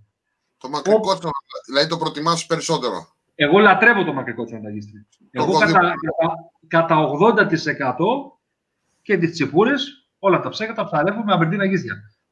Αυτό φυσικά τώρα είναι προ- εγώ, εγώ τι κάνω. Στο ξαναλέω. Εσένα- Τα μέρη που είναι. Εσένα Ναι. ρωτάω. Ακριβώς. Λοιπόν, εγώ ψαρεύω τις τσιπούρες, τις ψαρεύω και με αμπερντίνα αγκίστια, αλλά τα αμπερντίνα αγκίστια μπορεί να έχουν και κάπου κάποιο μειονέκτημα. Όταν πάω σε τόπους που ξέρω ότι κρατάει μεγάλες τσιπούρες και ξέρω ότι είναι και η ώρα που υπάρχει πιθανότητα να βαρέσει μεγάλη τσιπούρα, δεν ψαρεύω με αμπερντίνα αγκίστια. Τα βγάζω κατευθείαν. Βάζω αγκίστρι τσίνου μεγάλα. 1-0, 2-0.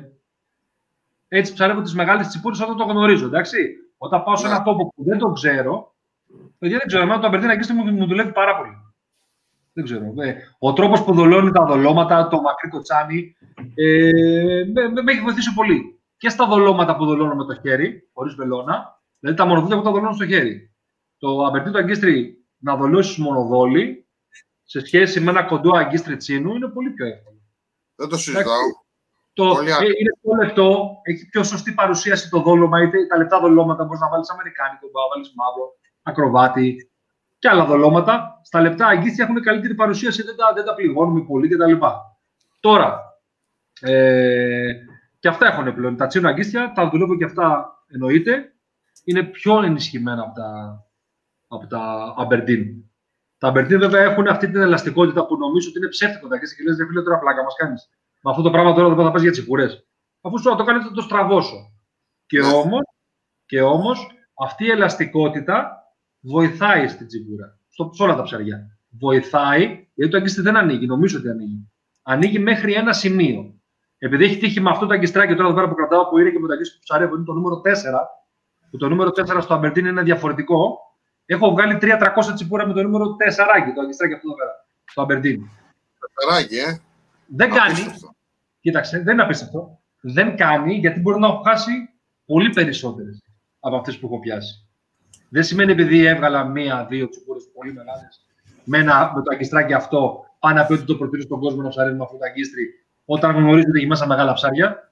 Εννοείται ότι θα του πω να βάλει ένα αγκίστρι τσίνου, ένα 0-2-0. Υπάρχουν πάρα πολλές εταιρείες με πάρα πολύ καλά αγκίστρια και να στοχεύσει σε μεγάλα ψάρια. Οπότε εγώ θα προτείνω αυτά τα αγκίστρια. Για μεγάλα ψάρια, όταν γνωρίζουμε. Όταν πάμε σε μέρος που δεν ξέρουμε τι κρατάει μέσα, εγώ προσωπικά βάζω ένα τεσσαράκι αβερτινάκι, δολώνω πάνω όλα τα δολώματα, τα δολώνω τέλεια και δεν γλιτώνει ψάρι. Δηλαδή χτύπημα και έξω ε, είμαι σχεδόν άχαστος. Το είχα πει αυτό σε ένα βίντεο το άχαστος, ότι είμαι σχεδόν άχαστος και από τότε μετά είχα χάσει πολλά ψάρια. Δεν ξέρω γιατί. Άρα, Γιώργο, τι Ναι. αρματοσιά επιλέγεις; Τι είδους αρματοσιάς επιλέγεις; Κοίταξε να δεις. Ε, κατά κύριο λόγο, εγώ ψαρεύω με σειρώμενο βαρύ. Δηλαδή, Είσαι Γιώργο, εδώ, υπάρχουν δηλαδή. και εσένα καλές αρματοσχέ- αρματοσχές έτσι που τις προτιμάς. Για παίζει ρόλο αυτό. Ε, Οι αρματοσχέσεις είναι σημαντικό. Είναι σημαντικό, όπως είπα. Άμα θέλετε, θα σας πω και σε άλλο θέμα που είναι φάμιλο με αυτό που συζητάμε. Οι αρματοσχέ, ανάλογα τι αρματοσχέ θα βάλεις, παίζει ρόλο και τον τρόπο που θα στήσεις έξω τον εξοπλισμό. Στην παραλία. Ή και σταυράκια, ξέρω εγώ. Μίλα, μίλα μας λίγο και για αυτό, σε παρακαλώ. Για το στήσιμο, Ναι. δηλαδή. Με το στήσιμο του εξοπλισμού. Ωραία. Λοιπόν, υπάρχουν βάσεις. Έχω φέρει και κάτι βάσει να σας δείξω. Μπορεί να κλείσει να μην τις έχεις δει. Υπάρχουν βάσεις οι απλές. Θες εδώ. Μμμ. Μπαίνεις στην Αυτό άμμο. και που θάβονται κάτω τις... Ναι. Οι κοντές, αυτές συνήθως είναι για τα καλαμάκια, το, τα, τα light casting. 360, 330, 3 μέτρα καλαμάκια, τα κρατάνε αυτά. τα- Αυτές οι βάσεις ψαρεύουν μια χαρά για τέτοιο τύπου καλάμια, πιο ελαφριά, με πιο, μικρούς μο- με πιο μικρά μοτέρ. Όταν πάμε σε καλάμι καθαρό αιμοεξοπλισμό surf casting, που μπορείς να ψαρέψεις και με καιρούς πιο, κατάλαβες, με, με κύμα, με αέρα κτλ. Η βασούλα αυτή τώρα κοντή δεν είναι τόσο σταθερή και σε καλάμια surf casting. Είναι αυτές εδώ. Μπορεί να Πολύ τις έχεις δει, Ηρακλή, έτσι. Η βάση τώρα είναι κρυφτήριο αυτό τώρα, εντάξει. Αυτό καρφώνει τέρμα κάτω, που μπορείς Και να πάνω το καλάμι σου 4-20-4,5 μέτρα και μένει το καλάμι αλφάδι. Ναι. Και εκεί τώρα, εκεί, ε, τέλος πάντων, προχωράω, θα σου το πω μετά αυτό, Ε, και μετά είναι οι βάσεις οι τρίποδες. Είτε βάζεις κοντές βάσεις τρίποδες που έχουν 3-4 θέσεις για καλάμια στα απλά καλάμια και στη surf casting βάζεις αυτές τις βάσεις. Τις έχεις δει, Ηρακλή. Ναι, ναι. αυτές Και τις Βαγγέλη, έχω δει. και αυτές τις βάσεις μεγάλες, με τα ποτήρια κάτω και τα... Είναι πιο στιβαρές αυτές οι βάσεις και τα καλάμια τα surf casting στέκονται πολύ καλύτερα. Τώρα, αυτός είναι ο τρόπος σήματος. Είτε με βάσεις καρφωτές, είτε με βάσεις τρι, τρίποδες. Ε, τώρα να σου πω, έτσι στείλουμε τα καλάμια. Τώρα, για τις αραματοσιέ που είπα. π.χ. Και συγγνώμη Γιώργο, παίζει ρόλο αν το καλάμι είναι έτσι, είναι έτσι. παι- Αυτά όλα παίζουν ρόλο; Ναι, ναι. Παίζουν. Και αυτά είναι, αν θέλεις, είναι και τα πιο ψαχμένα πράγματα. Είναι τα πιο εξειδικευμένα πράγματα. Αυτά είναι για μένα. Δηλαδή είναι, είναι ναι, είναι ο εξοπλισμός, είναι τα καλάμια, είναι τα μηχανάκια, είναι τι βιντεογιέ να βάλω, είναι τι αρματικέ να φτιάξω. Είναι, είναι, είναι πολλά και αυτό μπορεί να το κάνουν όλοι αν θέλεις. Εκεί που ξεχωρίζει κάποιος είναι η αντίληψή του για άλλα πράγματα. Όταν πας στη θάλασσα, εντάξει, δεν θα κοιτάξω εγώ το καλάμι μου και το μηχανάκι μου. Καταλαβαίνεις τώρα τι θέλω να πω. Θα κοιτάξω άλλα πράγματα. Πώς θα βρω ένα τόπο, πώς βρίσκω τον ψαρότοπο. Με το καλάμι. Τώρα, θα σε- θα- Μα ε, κάνει σε έχω και έτοιμες εδώ, ερωτήσεις έτσι. εδώ για εποχές, για τόπους, για καιρούς. Σε έχω εδώ, δεν δε γλιτώνεις. Θες να τα Ε, πούμε από αυτά τώρα; Είναι- Ωραία. Αυτά λοιπόν είναι τα πιο σημαντικά. Ο ένας, ας πούμε, αρχάρης όταν περάσει το στάδιο του εξοπλισμού, τα μάθει, μάθει να τα χειρίζεται σωστά, έχει φτάσει στο επίπεδο που θέλει με τον εξοπλισμό. Ο εξοπλισμός δεν βγάζει από μόνος του ψάρια. Πρέπει να ξέρεις και άλλα πράγματα. Εντάξει. Ναι, ναι. Ε, οπότε αυτό, καταρχήν αυτά είναι εμπειρικά καταρχήν. Όσο πηγαίνεις, όσο πιο πολύ πηγαίνεις στη θάλασσα και παρατηρείς, το τι Ωραία, γίνεται, περίμενε λοιπόν τώρα γιατί ήρθε η ώρα της ανάκρισης. Λοιπόν, πώς Πάμε. επιλέγω τόπο λοιπόν. Πάμε. Πρώτο θέμα. πώς επιλέγεις τόπο; Επιλογή Να, τόπου. παι- ε, παιδιά, μισό λεπτό. Ε, να, επει- να μην επιδείξουμε κάποια θέματα. Θα πούμε ακριβώς. Ε, δύο πράγματα. Έχω σημειώσει δύο ερωτήσεις. Ό,τι θέλεις. Πρώτα απ' όλα, ε, πότε επιλέγεις μονάγκιστρο, πότε διπλάρι, πότε τριπλάρι; Να, Ωραία. να τελειώσουμε Θα το πω- λίγο την θα το αρματοσιά πω και να μου πεις αν έχει σημασία το χρώμα στη μάνα της μπετονιάς, που έχει πει ένας φίλος. Ναι. Ε, τα, ε, συνήθως τα χρώματα είναι έντονα στις μάνες. Οι εταιρείες ε, πιο πολύ βγάζουν τα έντονα χρώματα. Υπάρχουν βέβαια και τα λευκά, αλλά συνήθως βάζουν πορτοκαλί, κόκκινα, κίτρινα, μπλε. Αυτά είναι τα χρώματα. Για μένα δεν παίζουν τόσο μεγάλο ρόλο. Μέσα στο νερό. Εκτός νερού παίζουν. Ένα χρώμα κίτρινο, ας πούμε, το βράδυ ψαρεύει καλύτερα. Με το, όταν χτυπάς την πετονιά σου με το φακό, βλέπεις την πετονιά με μια κίτρινη πετονιά. Ή όταν θες να ρίξεις, έχεις ρίξει ένα καλάμι δίπλα και θες να ρίξεις ακριβώς δίπλα το άλλο, επειδή δεν έχεις πολύ χώρο, με το που ρίξεις το φακό, βλέπεις ακριβώς την πετονιά που μπαίνει μες στο νερό. Ένα κίτρινο χρώμα ή ένα πορτοκαλί, και έτσι σε βοηθάει και έχει οδηγό για να ρίξεις ακρίβεια να μην μπερδευτούν τα καλάμια.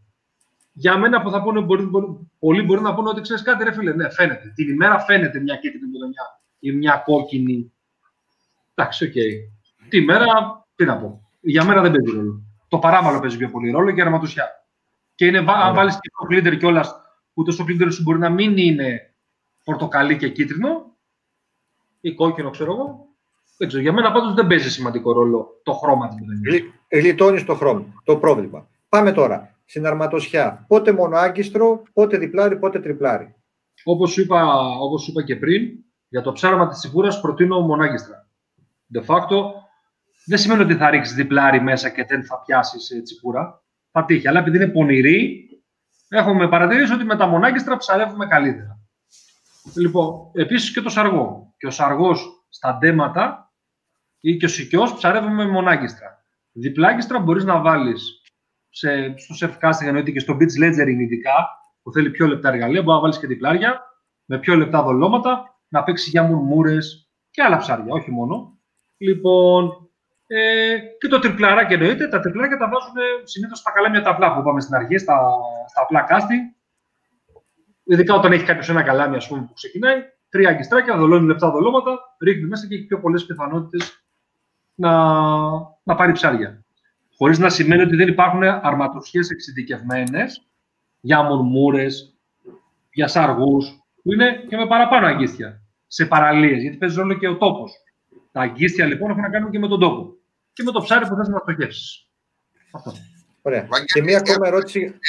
Έχουμε, μιλήσει, έχουμε μιλήσει για τα δολώματα, έχουμε τελειώσει. Όχι, όχι, όχι τα έχω για μετά τα δολώματα, παιδιά, να, ωραία, να μιλήσουμε. Ωραία, πάμε στο τέλος. Έχει κάνει μία ερώτηση ο Καλογύρου, ο Κώστας. Θα την απαντήσουμε στο αργότερο. Μετά. Πάμε. Ωραία, πάμε. Λοιπόν, εγώ Συνεχίζουμε, τώρα. λοιπόν. Τόπι. Ναι, Ηρακλή. Τόπος. Πώς διαλέγω τόπο. Τι κοιτάμε. Τι κοιτάς, ε; Ναι, γιατί εγώ είμαι αρχάριος. Τι θα κάνω. Θα πάρω το καλάμι και θα πάω όπου να είναι και βαράτε βιολιτζίδες; Όπου είναι οι Κάπως πολλοί. πρέπει να- Είναι, είναι σύστημα αυτό, όπου είναι οι πολλοί. Όπου βλέπεις πολλές βάρκες πήγαινε και εσύ δίπλα, έτσι δεν λέτε. Όχι, εντάξει. Και αυτό είναι καθαρά θέμα εμπειρικό. Αλλά στην αρχή ένας αρχάρης που θα πάει για ψάρεμα θα πάρει πληροφορίες. Αυτό είναι. Πληροφορία είναι το πού πέσανε ψάρια. Ο φίλος σου να σου πει ότι του πάνε. Εντάξει, έτσι βρίσκεις μόνος σου να βρεις ένα τόπο ένας αρχάριο αυτό δεν μπορεί να το κάνει. Δηλαδή να μην έχει μια πληροφορία να πάει κάπου για ψάραμα είναι λίγο δύσκολο. Πρέπει να έχεις την πληροφορία. Είναι, είναι Ηρακλής, σαν να σου πω, ξέρεις κάτι. Να σε πω στα δικά σου τα νερά, πήρα μια βάρκα, θα ρίξω ένα παραγάδι. Ωραία, πού θα ρίξω παραγάδι; Πού θα βρω τον τόπο να το ρίξω; Ναι, αλλά Γιατί στο υπάρχει- παραγάδι, για παράδειγμα, υπάρχουν κάποια στάνταρ. Δηλαδή, θα το δεις με το βυθόμετρο, θέλεις να είναι τραγανίτσα, σου λέω ένα παράδειγμα τώρα. είναι Θες- πολύ βυθόμετρο τώρα, Έχει εντάξει, κάποια είναι specs, καλό. ναι. Αντίστοιχα υποθέτω ότι Ωραία. και στη μορφολογία της ακτής κάτι κοιτάς για να Εννοείται. πεις ότι εδώ είναι πιθανό Εννοείται. ψαρότοπο. Εντάξει, οκ. Αυτό Ε, ε, προσπαθώ να εκμαιεύσω. Δεχτώ. Εντάξει, επειδή εγώ τώρα το έχω δει ότι μιλάω μαζί σου και, και σε έχω πάρει σαν αρχάριο τελείως, μιλάω πιο πολύ για τους αρχάριους, είναι αλήθεια αυτό. Εντάξει. Σου είπα ότι εμένα, αν με πας και σε ένα τόπο, θα σου πω ακριβώς τι θα γίνει. Ναι. Και είναι εμπειρία; Θα σου πω τι ψάρια κρατάει μέσα, θα σου πω τι εποχές θα φάνε, αν θα φάνε, αν είναι ένας καλός ψαρότοπο. Ειδικά αν τον ψαρέψω μία φορά και πάρω πληροφορία, μου κάνει.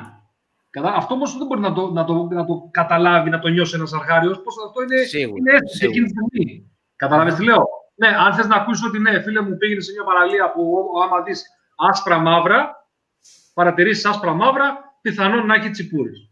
Ρίξε. Οκ, ναι. Και η μορφολογία του βυθού παίζει ρόλο. Ναι, ότι άμα πας στα βράχια και βρεις βαθιά νερά, σε βράχια μπορεί να σου κάνει λιθρίνια, μπορεί να σου κάνει σαργούς. Ε, ναι, αλλά καταλαβαίνεις το ότι το να το βρεις μόνος σου αυτό σαν αρχάριος για αρχή, θες κάποια βοήθεια. Αυτό που, βρίσκει- αυτό που βρίσκει με τα παραγάδια π.χ. δεν το βρήκες μόνος σου, το βυθόμετρος το βρίσκει. Ναι, εντάξει, Καταλαβαίνεις. σωστά. Απ' έξω είσαι τελείως μόνος σου. Οπότε θέλει εμπειρία. Οπότε παίρνεις πληροφορία για μένα που θα πας για ψάρμα. Δηλαδή, άμα θες και μου πεις το να πάω για ψάρμα, θα σου πω, φίλε μου, από ποια μεριά θες να πας; Από εκεί. Ωραία. Θες λιμάνι, θες βράχο ή θες παραλία. Ναι, θέλω λιμάνι να με άνετα το αμάξι δίπλα. Ωραία. Άμα θες κοντά στην Αττική, θα σου πω εγώ λιμάνι για να πας για ψάρμα. Ε, ανάλογα την εποχή, με τι δολώματα παίζουν ρόλο όλα αυτά. Εντάξει. Δεν είναι τα σημαντικά. Το τι δολώμα θα πάρεις, πού θα πας για ψάρεμα, άλλα δολώματα θες από παραλία, να στοχεύσει άλλα ψάρια, άλλα θες από βράχια, σε λιμάνι ίσως να χρηστεί άλλα. Εντάξει. Αυτό. Και με τους τόπους. Τώρα, Ωραία. εντάξει, οι εποχές βέβαια και αυτό που μου λες τώρα, οι εποχές τα πράγματα είναι λίγο, πλέον έχουν μπερδευτεί λίγο τώρα. Με όλα αυτά που γίνονται τώρα στο, στον πλανήτη γενικά, ε, έχουν αλλάξει τα πράγματα. Δεν είναι όπως ήταν παλιά. Εγώ παλιά θυμάμαι πριν πολλά χρόνια, είχα κοιτάπει. Ήξερα ακριβώς τι γίνεται. Και όλοι οι παλιοί πιστεύω το κάνατε αυτό. Παιδιά, κρατάγατε σημειώσεις και ήξερες ότι π.χ. το Γενάρη στην Ερμιόνη κάνει λαβράκια. Κάθε Γενάρη θα πάω για λαβράκια. Ήξερες ότι οι τσιπούρες τρώνε στο τάδε μέρος, την τάδε εποχή, ε, ή γεννάνε την τάδε εποχή και πάω και τα ψαρεύω αυτή την εποχή. Αυτά γενικά έχουν ψηλοαλλάξει λίγο, έχει γίνει λίγο ψηλοακταρμά η κατάσταση. Δεν ξέρω αν συμφωνείτε. Συμφωνούμε, αλλά υπάρχουν ακόμα κάποιες γενικότερες νόρμες, όχι με την ναι. ακρίβεια του παρελθόντος. Έτσι. Ναι, αλλά κάποιες νόρμες υπάρχουν. Ναι. Εννοείται λοιπόν ότι από θέμα εποχής, ας πούμε, εντάξει, ότι άμα θες να πας για ψάρεμα ας πούμε, για τσιπούρες, η τσιπούρα δεν, δεν, δεν μπορείς να την πεις όλο τον χρόνο. Ναι, αλλά π.χ. σε μένα στα παραγάδια την τσιπούρα, ειδικά στο νότιο ευωικό, ας πούμε, την περιμένω γύρω στις 20 Οκτώβρη ας πούμε, και μετά. Για κανένα δίμηνο. Αυτό λοιπόν είναι πολύ σημαντικό που λες ότι ο κάθε τόπος mm-hmm. μπορεί να είναι και εκτός εποχής και να, να είναι τα ψάρια τοπικά. Ναι. Κατάλαβε. Δηλαδή, π.χ. θεωρητικά οι τσιπούρες το Φεβρουάριο δεν υπάρχουν. Θεωρητικά. Το ψάρεμα τη τσιπούρα θεωρητικά είναι από Σεπτέμβριο μέχρι Δεκέμβρη, max. Και όμως, εγώ στον πόρο πηγαίνω Φεβρουάριο και παίρνω τσιπούρες. Επειδή ο πόρος μπορεί να κρατάει. Άλλα 10-15 ναι. μήνες μπορεί να μην κρατάνε όμως. Μπορεί να τις κρατάγανε. Το στάνταρ λοιπόν για την τσιπούρα ναι, είναι. Και το καλοκαίρι μπορείς να πάρεις τσιπούρα. Αλλά αν θέλεις λοιπόν να το πάω με τα δικά του λεγόμενα που είναι και σωστά δεν είναι λάθος. Ναι, εννοείται ότι το, ο, το ψάρεμα της τσιπούρα το κάνουμε οι πιο top εποχές. Είναι Σεπτέμβριος, Οκτώβριος, Νοέμβριος μέχρι και το Δεκέμβρη. Είναι δηλαδή η κατάλληλη εποχή για το ψάρεμα της τσιπούρα. Για μένα. Γιατί βέβαια, ναι, π.χ. ας πούμε το, το, πώς να το, πω τώρα, το, το καλοκαίρι, ας πούμε, ενδεικνύεται το ψάρεμα της μουρμούρας. Είναι πιο, τα νερά είναι πιο ζεστά. Οι μουρμούρες έξω είναι πιο άφωνες, αν θέλεις, ας πούμε. Το καλοκαίρι ψάρευουμε τι μουρμούρε. Το χειμώνα, ε, ε, ε, χειμώνα, χειμώνα, ας πούμε, πάμε για σαργούς, τα βράκια, είναι πολύ καλά. Ε, παίζει όλο και η εποχή και ο τόπος που θα επιλέξεις και το ψάρι που θες να κυνηγήσεις. Είναι συνδυαστικά για μένα. Όλα αυτά. Άρα, Γιώργο, πάλι μια ερώτηση αρχάριου. Για να καταλάβω για το surf casting μιλώντας πάντα, έτσι. Τα βασικά θυράματα τα οποία κυνηγάς με αυτό το τρόπο ψαρέματος είναι η τσιπούρα, ο σαργός, η μουρμουρά. Αυτά είναι τα βασικά θυράματα που στοχεύεις; Πες το και έτσι, ναι. Είναι και άλλα ψάρια. Εντάξει, δεν μιλάω για ένα τυχερό που μπορεί να άτυχε, αλλά τα βασικά. Ε, τσιπούρα, αργός, μουρμούρα είναι τα πιο βασικά, ναι. Εννοείται ότι είναι το λαβράκι. Ε. Είναι το λαβράκι. Γιατί ναι. τώρα λέμε για surf casting. Εντάξει, okay, ναι, γιατί το casting, όπως είπαμε στην αρχή, έχει πολλά φάσματα. Εντάξει, γιατί σου είπα και το πολυάγκιστρο casting είναι. Με, με casting καλάμι το ρίχνεις το πολυάγκιστρο. Οπότε όταν δολώσει ένα ψωμί ή όταν δολώσει ένα δημάρι, δεν πας θεωρητικά για όλα τα ψάρια. Όταν δολές ψωμί, θα, η βάση είναι ο κέφαλος, τα μελανούρια, οι σάλπες, ανάλογα και πώς θα το ρίξετε. Πάνω κάτω κτλ. Και αν βάλουμε, Γιώργο, στην εξίσωση και το κεφάλαιο καιρός τώρα. Για μιλά μας λίγο για τον καιρό, τι καιρικέ συνθήκε. Σημαντικό. Σημαντικό ο καιρός, ναι. Για το ψάραμα της τσιπούρα, τώρα πάλι και εκεί δεν είναι στάνταρ. Εγώ θα το πάω βάση έτσι γενικά, αν θέλεις. Η τσιπούρα θέλει, από θέμα καιρού, θέλει ήπιες συνθήκες, μέτρες προς ήπιες συνθήκες. Είναι η αλήθεια. Θέλει ηρεμία. Ειδικά την ημέρα και το βράδυ, όχι μη λέω. Καλά, η τσιπούρα, γιατί παίζει όλο και οι ώρες μετά θα μου πεις. Ε, οι ώρες για την τσιπούρα είναι σε και μέρα και νύχτα. Θύμισε μου κόλλησα τώρα με τις ώρες. Ποια ήταν η ερώτηση βασική; Για τις καιρικές συνθήκες ερώτηση. Καιρικές συνθήκες, μπράβο. Ε, γιατί, ναι, γιατί πάνε μαζί αυτά, ώρες και καιρικές συνθήκες πάνε Ε, το ψάρεμα της τσιπούρα, λοιπόν, μπορείς να πάρεις ψάρια, μπορείς να πάρεις τσιπούρε και με, και με καιρό. Και με φουλ ρεύματα και με μποφόρια. Έχει τύχει, δηλαδή π.χ. ο κουμπάρος μου, που ξέρω ότι έχει λατρεία ο Γιώργος με τον κουμπάρο μου, που τον έχει αναφέρει αρκετές φορές. Ε, Γιώργο. Είναι ωραίος. Είναι ωραίος. Μ' αρέσει. Το, καλύ... το καλύτερο παιδί. Το καλύτερο παιδί. Θα τον πάρεις και αυτόν μαζί όταν θα έρθεις, έτσι σου έχω πει, χωρίς τον κουμπάρο μου για ψάρεμα προσπαθώ να μην πηγαίνει. Ναι, είναι, θα ναι. πεθάνουμε στο γέλιο. Έτσι, έτσι. Οι κουμπάροι ε... συνήθως, Γιώργο, ή συγκρατούν ή, ή ε, παραπλανούν, παρασύρουν. Ένα από τα δύο. Για λέγεις λοιπόν. Λοιπόν, προχωράω. Ο κουμπάρος μου λοιπόν έχει κάνει high score τσιπούρα στην Πάρο, που με έστελε, δεν ξέρω αν έχεις το βίντεο που με έστελε στην Πάρο, έτρωγα στην Πάρο. Έχει πάρει τη φούρα 400, 400. Ε, δεν την κατάλαβε. Σαν συναγρίδα τα φίλε. Ακριβώς. Δεν την κατάλαβε. Μιλάμε, είχε τόσο αέρα που και εγώ τα πήγα στην Πάρο, είχε πολύ αέρα. ε, είχε ακόμα περισσότερο. Δηλαδή δεν την καταλάβανε και πήραν ένα ψάρι 4% ας πούμε, με, με 800 αμποφόρια ας πούμε, και πλαϊνούς καιρούς κτλ. Εντάξει. Αυτό έτυχε. Η τσιπούρα όμως θέλει θεωρητικά ήπιες συνθήκες. Μπορεί να φάει σε όλους τους καιρούς, αλλά θεωρητικά θέλει ήπιες συνθήκες και σημαντικό είναι και το μέρα ή νύχτα. Πολλοί τόποι, οι περισσότεροι τόποι, αν θέλεις, όποιος πήγε από ψάραμα τσιπούρα είναι μέρα. Αυτό είναι η αλήθεια. Οι μεγαλύτερες τσιπούρε έχουν βγει μέρα. Και μεσημέρι. Και νομίζω, Γιώργο, μεσημέρι, έτσι. Το πες. Ακριβώς, το Οι μεγαλύτερες έχουν βγαίνουν μέρα μεσημέρι. Αλλά και πάλι έχει να κάνει με τους τόπους, παιδιά. Εγώ μέρα δεν ψαρεύω. Και για πολλά χρόνια δεν ψάρευα τσιπούρες. Εγώ, δηλαδή, από πολύ πιο παλιές εποχές, είχα, είχα αρρώστια με τα λαβράκια. Από τον πατέρα μου που ήταν λαβρακάς μεγάλος, είχα αρρώστια με τα λαβράκια. Μετά πήγα στο Σαργό, ψάρευα χρόνια σαργούς. Τσιπούρες δεν ψάρευα. Δεν τις ψάρευα επειδή όντως πραγματικά και πιο, πολύ πιο παλιά δεν ήξερα μέρη, αν θέλεις, ε, που τρώγανε βράδυ. Με τα χρόνια λοιπόν ε, που βρήκα τα μέρη τα οποία και τους τρόπους αν θέλεις που μπορώ να τις βγάζω και βράδυ ξεκίνησα να ψαρεύω την τσιπούρα και με κέρδισε η τσιπούρα. Δηλαδή φαντάζομαι να πάω για σωρκούσα και το καιρό. Ε, με κέρδισε η τσιπούρα πάρα πολύ. Επειδή βρήκα τους τόπους, γιατί εμένα κατά 80% το ψάρεμα μου είναι βράδυ. Που πολλοί μπορεί να σου πούνε φίλε μου, βράδυ και τσιπούρα δεν πάει.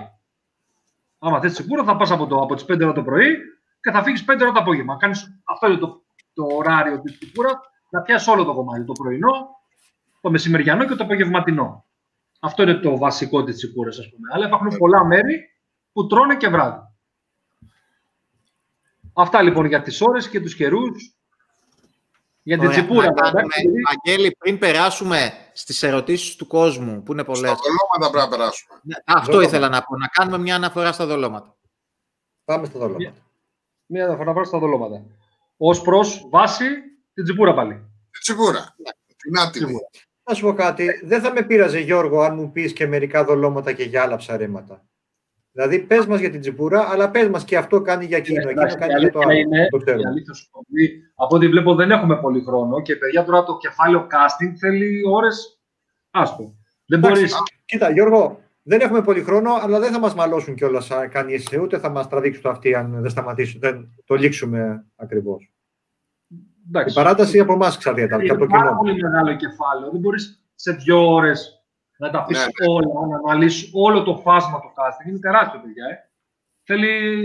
Εντάξει, δεν μπορείς να το πεις σε δύο ώρες αυτό. Λοιπόν, ό,τι μπορούμε πιάνουμε τώρα για να βοηθήσουμε όσο πιο πολύ τον κόσμο μπορώ, να πω κι εγώ την άποψή μου πάνω σε θέματα τα οποία ζητάει ο κόσμος.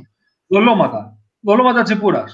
Λοιπόν, και εκεί οι απόψεις δίστανται. Εξαρτάται πάλι από το μέρος. Εγώ θα σου πω ε, τον κανόνα, κανόνα, αυτό που κάνουν οι περισσότεροι το πιο κατάλληλο δόλωμα για την τσιπούρα, θεωρητικά, είναι το μονοδόλι. Εντάξει, μονοδόλι είναι από τα καλύτερα δολώματα για τσιπούρα, ειδικά μέρα. Υπάρχουν και άλλα δολώματα. Πορφύρα, εξαιρετικό δόλωμα για τσιπούρα, μέρα. Τα καβούρια, πάρα πολύ καλά δολώματα για μέρα. Άλλοι βάζουν αμερικάνικο. Εγώ π.χ. έχω λατρεία με το φαράω. Γιατί ψάρευα και βράδυ. Και με μέρα έχω πάρει φαραώ τσιπούρες. Το φαραώ, πολλοί θα σου πούνε ότι δεν κάνει για τσιπούρες. Ή δεν προτιμάνε φαραώ, δεν προτιμούν φαραώ για τσιπούρα. Εγώ χωρίς φαραώ δεν πάω για ψάρεμα. Εγώ, για μένα, στα μέρη που ψαρεύω, μάλλον όχι στα μέρη που ψαρεύω, γιατί ο κάθε ψαράς έχει μια λατρεία σε κάποιο δόλωμα, επειδή του έχει δώσει αυτό τα ψάρια. Οπότε αυτό ψαρεύει πιο πολύ. Είμαι, είμαι μαζί σου. Είμαι μαζί σου. Κάποιος που θα πει ότι είναι μου, Έχω πάρει φαραώ, που μου λέει τι παίρνει με φαραώ, έχω πάρει μαζί μου φαραώ και έχω πάρει και μονοδόλια, ρε φίλε. Και έχω πάρει, εντάξει, φαραώ και μονοδόλια θα πω. Στον τόπο που ψαρεύω και με το φαραώ ψαρεύω χρόνια και δεν έχω πάρει ρε φίλε ψάρι. Και η απάντηση είναι ότι. Μάλλον δεν θα σου το πω με απάντηση, συγγνώμη, θα σου το πω με ιστορία γρήγορη με τον αδερφό μου. Το πρώτο βίντεο που ανέβασα όταν, ε, στο YouTube, όταν είπα θα το κάνουμε λίγο πιο σοβαρά, ήταν το ψάρεμα που έκανα με τον αδερφό μου στο Λαύριο. Δεν ξέρω αν το έχετε δει το βίντεο. Είναι από τα πρώτα βίντεο, είναι κάνα δύο χρόνια Το έχω δει. Μου λέει ο αδελφό μου ο Θανάσης, και εκεί από αυτό θα πω πολλά. Μου δίνει την πληροφορία που λέει Ηρακλή, έχουν πέσει τσιπούρε στο λιμάνι. Έλα, μου λέει. Έλα. Και μου λέει, επειδή με ξέρετε με φαραουδάκιας, μην πάρεις μου λέει φαραώ, μονοδόλια τρώνε μου λέει και μάνες. Τρώνε άσπρα δολώματα. Εντάξει, μου λέει θα φέρω άσπρα δολώματα. Όπως σου είπα εγώ και στην πισίνα να με στείλεις φαρό, θα πάρω πάντα. Πάμε φαραώ. Εντάξει. Σε αυτό το βίντεο πήρα πέντε τσιπούρες. Τέσσερις τσιπούρες δεν θυμάμαι πώ ήταν. Τις πήρα παιδιά όλες στο φαραώ. Ξέρεις γιατί; Γιατί ψάραβα με φαραώ. Πραγματικά ψάραβα με φαραώ. Έβαζα και μονοδόλη, αλλά όταν ανοίγω τρία-τέσσερα καλάμια και βάζω στα τρία το αγαπημένο δόλωμα το φαραώ και βάζω και στο ένα ένα μονοδόλη, που το θεωρώ και τώρα εντάξει, και άστο τώρα και βλέπουμε, δίνω βάση στο φαραώ λοιπόν. Εκεί δίνω τις περισσότερες επιλογές. Οπότε το ψέρι θα το πάρω εκεί. Καταλαβες; Εγώ π.χ. που δεν πολύ δολώνω μάνες, αν θέλεις. Τις μάνες τις, ε, τις ε, πώς να το πω, στα μέρη τα δικά σας μου δουλέψανε πολύ οι μάνες. Επειδή όμως τους έδωσα χρόνο. Καταλαβες; Είπα, θα πάω ένα ψάρεμα, θα πάω στην Ποσειδονία, π.χ. στα μέρη σας, παιδιά, ε, θα πάω στην Ποσειδονία, ξέρω ότι τραβάνε. Εκεί π.χ. το, το φαράω στην Ποσειδονία δεν πολύ δουλεύει. Ειδικά για, για τις τσιπούρες. Στους αργούς μπορείς, στις τσιπούρες δεν πολύ δουλεύει. Στους αργό δουλεύει. Στους αργό δουλεύει. Στις τσιπούρες, στον Κορινθιακό, στον Κορινθιακό, ε, από, από αυτά τα μέρη τέλος πάντων, δουλεύουν πιο πολύ τα άσπρα δολώματα, οι μάνες και τα μονοδόλια.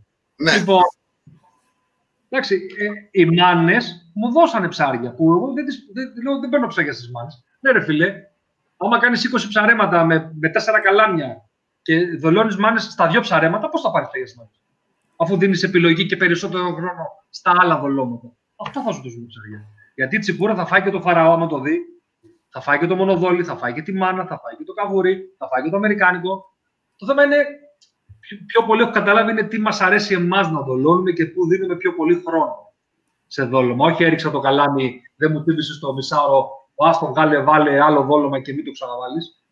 Αυτή είναι η άποψή μου πάντα, εντάξει. Αυτό. Αλλά τα δολώματα στα είπα ποια είναι για την τσιμπούρα, εντάξει. Να σε ρωτήσω Ωραία. κάτι, Γιώργο. Για τα λαβράκια. Μία ερώτηση του Κώστα του Καλογύρου. Για τα λαβράκια στο κάστι.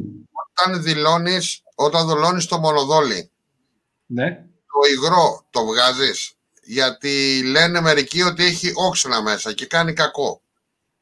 Ωραία. Θα το πω, θα το λέω, είμαι κουραστικός, αλλά θα το λέω, θα το λέω συνέχεια. Παιδιά, εγώ λέω τις απόψεις τις δικές μου, εντάξει. Ναι, ναι, Δεν σημαίνει ότι αυτό που λέω είναι κανόνας. Γι' αυτό Δεν το λέμε συνέχεια, μην αγχώνεσαι. Έτσι είναι. Εντάξει, εννοείται. Λοιπόν, εννοείται. Εδώ κουβέντα κάνει. Ναι, εντάξει, λέω, δεν, για πολλούς δεν εννοείται. Σημαίνει επειδή το λέω εγώ, πάνε πει ότι έτσι είναι ή κάνεις λάθος ή δεν κάνεις. Ε, έτσι κάνω εγώ. Αυτή είναι η άποψη δική μου, αυτό κάνω εγώ. Αυτό λέω στον κόσμο, τι κάνω εγώ. Λοιπόν, τώρα θα σε κουφάνω με αυτό που θα σου πω, δεν θα με πιστέψεις. Έχω δοκιμάσει μόνο. Θα με κοροϊδέψετε, το ξέρω. Επειδή με τα δολώματα, κοιμάμαι με τα δολώματα, μια ζωή από μωρό παιδί. Ε, ε, άλλοι είχαν αυτοκινητάκια στο κάτω το κρεβάτι, εγώ είχα φαράω και χάιδευα και μάνες και δολώματα. Έχω μεγαλώσει μες στα δολώματα. Έχω δοκιμάσει μόνο. Πραγματικά. Το μονοδόλι τον ντόπιο, μπορεί να με κοροϊδέψουν κάποιοι, OK, okay, ναι, το δέχομαι, αλλά είναι αλήθεια. Το μονοδόλι τον ντόπιο, λοιπόν, το υγρό από μέσα από το μονοδόλι είναι πιο γλυκό από ότι του, εισα, του, στο εισαγωγής.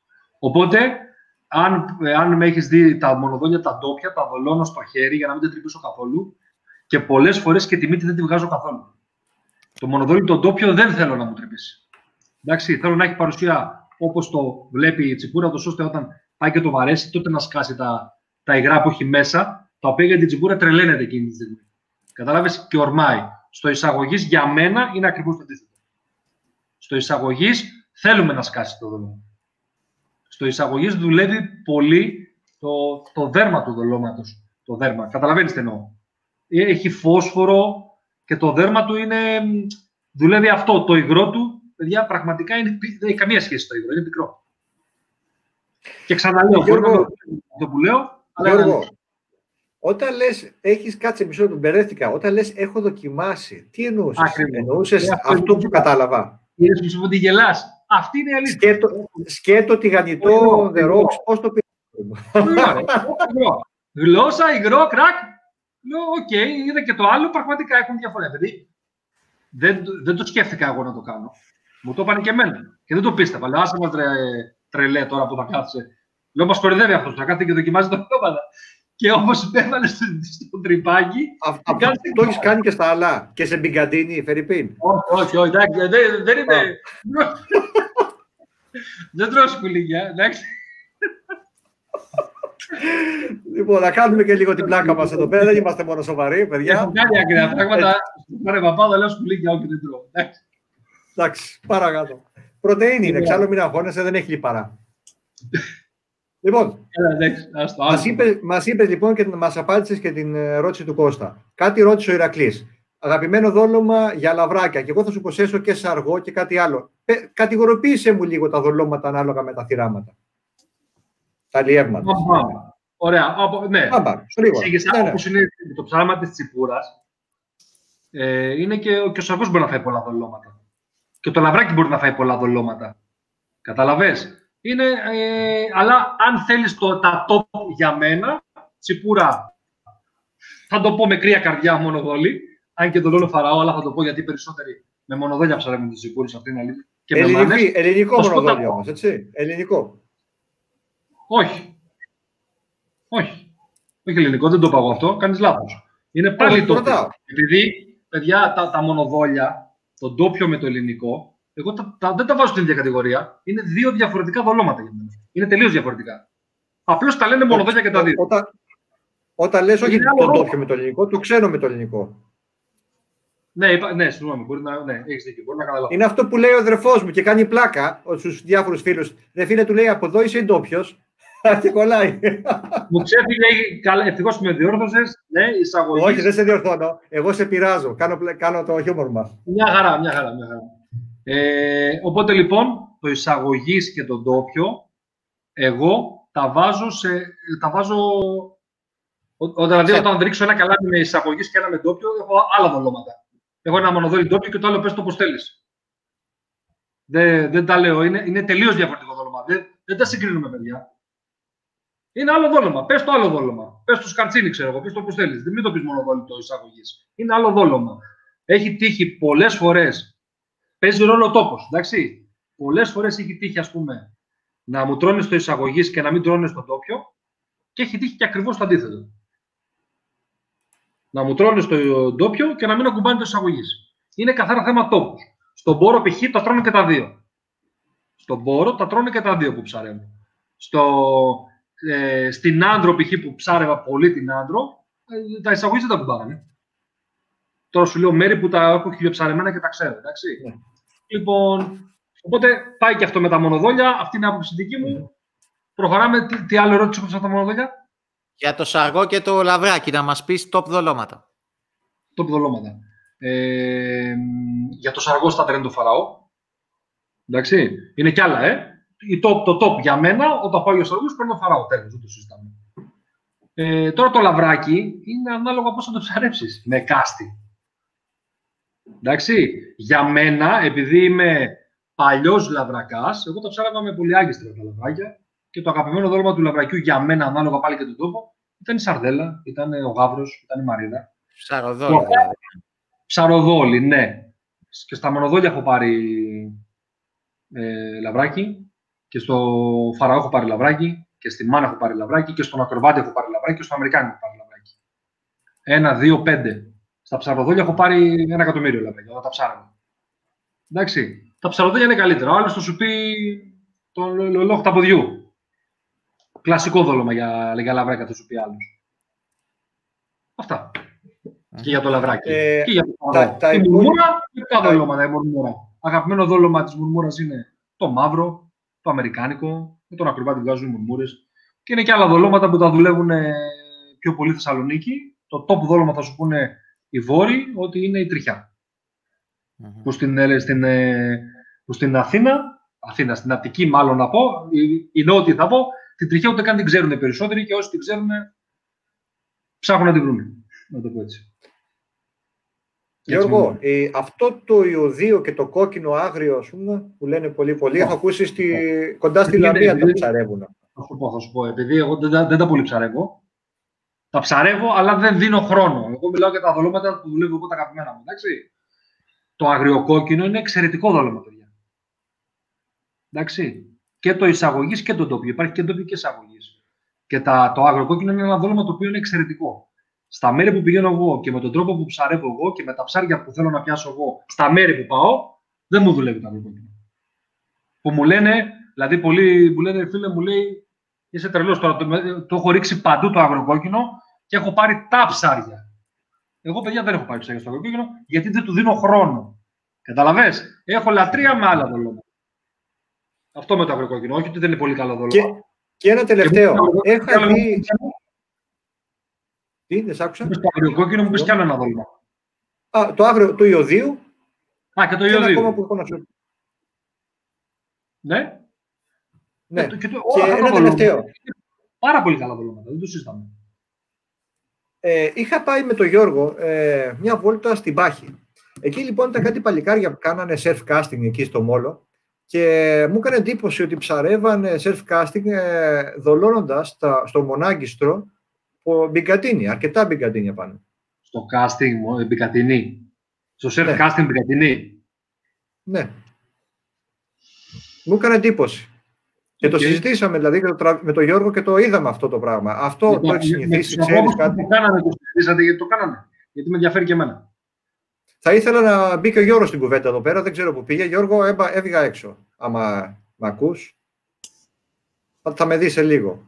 Σου λέω, μου έκανε πολύ εντύπωση. Τα παιδιά παίρνανε 4-5 μπιγκατίνι, τα περνάγανε στο μονάγκιστρο και το ρίχνανε μέσα. Ε, Γιώργο; Κοίταξε να σου πω κάτι. Σε Όχι, ένα. Βαγγέλη. Ήταν εγγλέζικο. Όχι. Όχι στο εγγλέζικο. Ήταν εγγλέζικο. Το άλλο το παιδί έκανε Απλά- αυτό, δεν έκανε.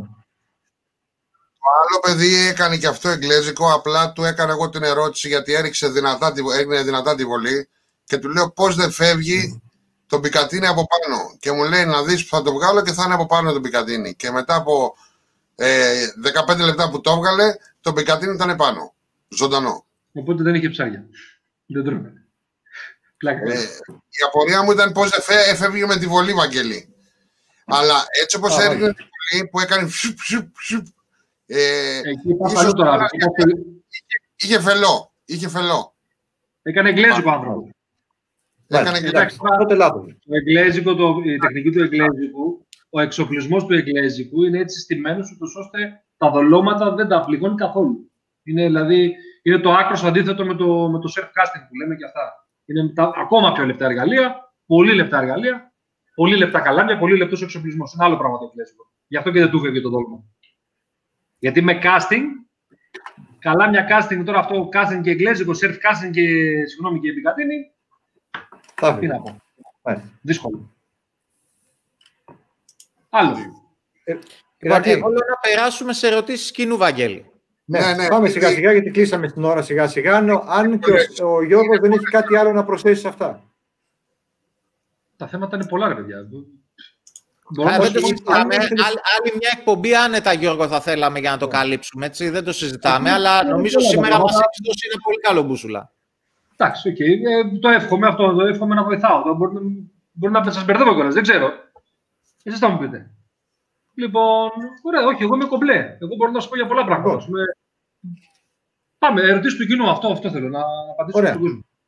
Κρι Ανδρέου, προτείνεις για μάνα δολοσιά, ε, μάνα δολοσιά ε, ολόκληρη ή κομμένη σε κομμάτια για τσιπούρε. Με ολόκληρη μάνα, ρε παιδιά, είναι δύσκολο. Έχουν βγει ψάρια, έχουν βγει και μεγάλα ψάρια με ολόκληρη μάνα. Εγώ προσωπικά την κόβω στη μέση τη μάνα. Ή βάζω μανάκια. Ακόμα καλύτερα. Και μάνα την κόβω στη μέση, τη γυρνάω ανάποδα, περνάω βελόνα, ελαστικό νήμα. Έτσι δουλεύω τη μάνα. Ολόκληρη ή σπάνια. Προτιμώ να βάλω μανάκι από τη μάνα ολόκληρη.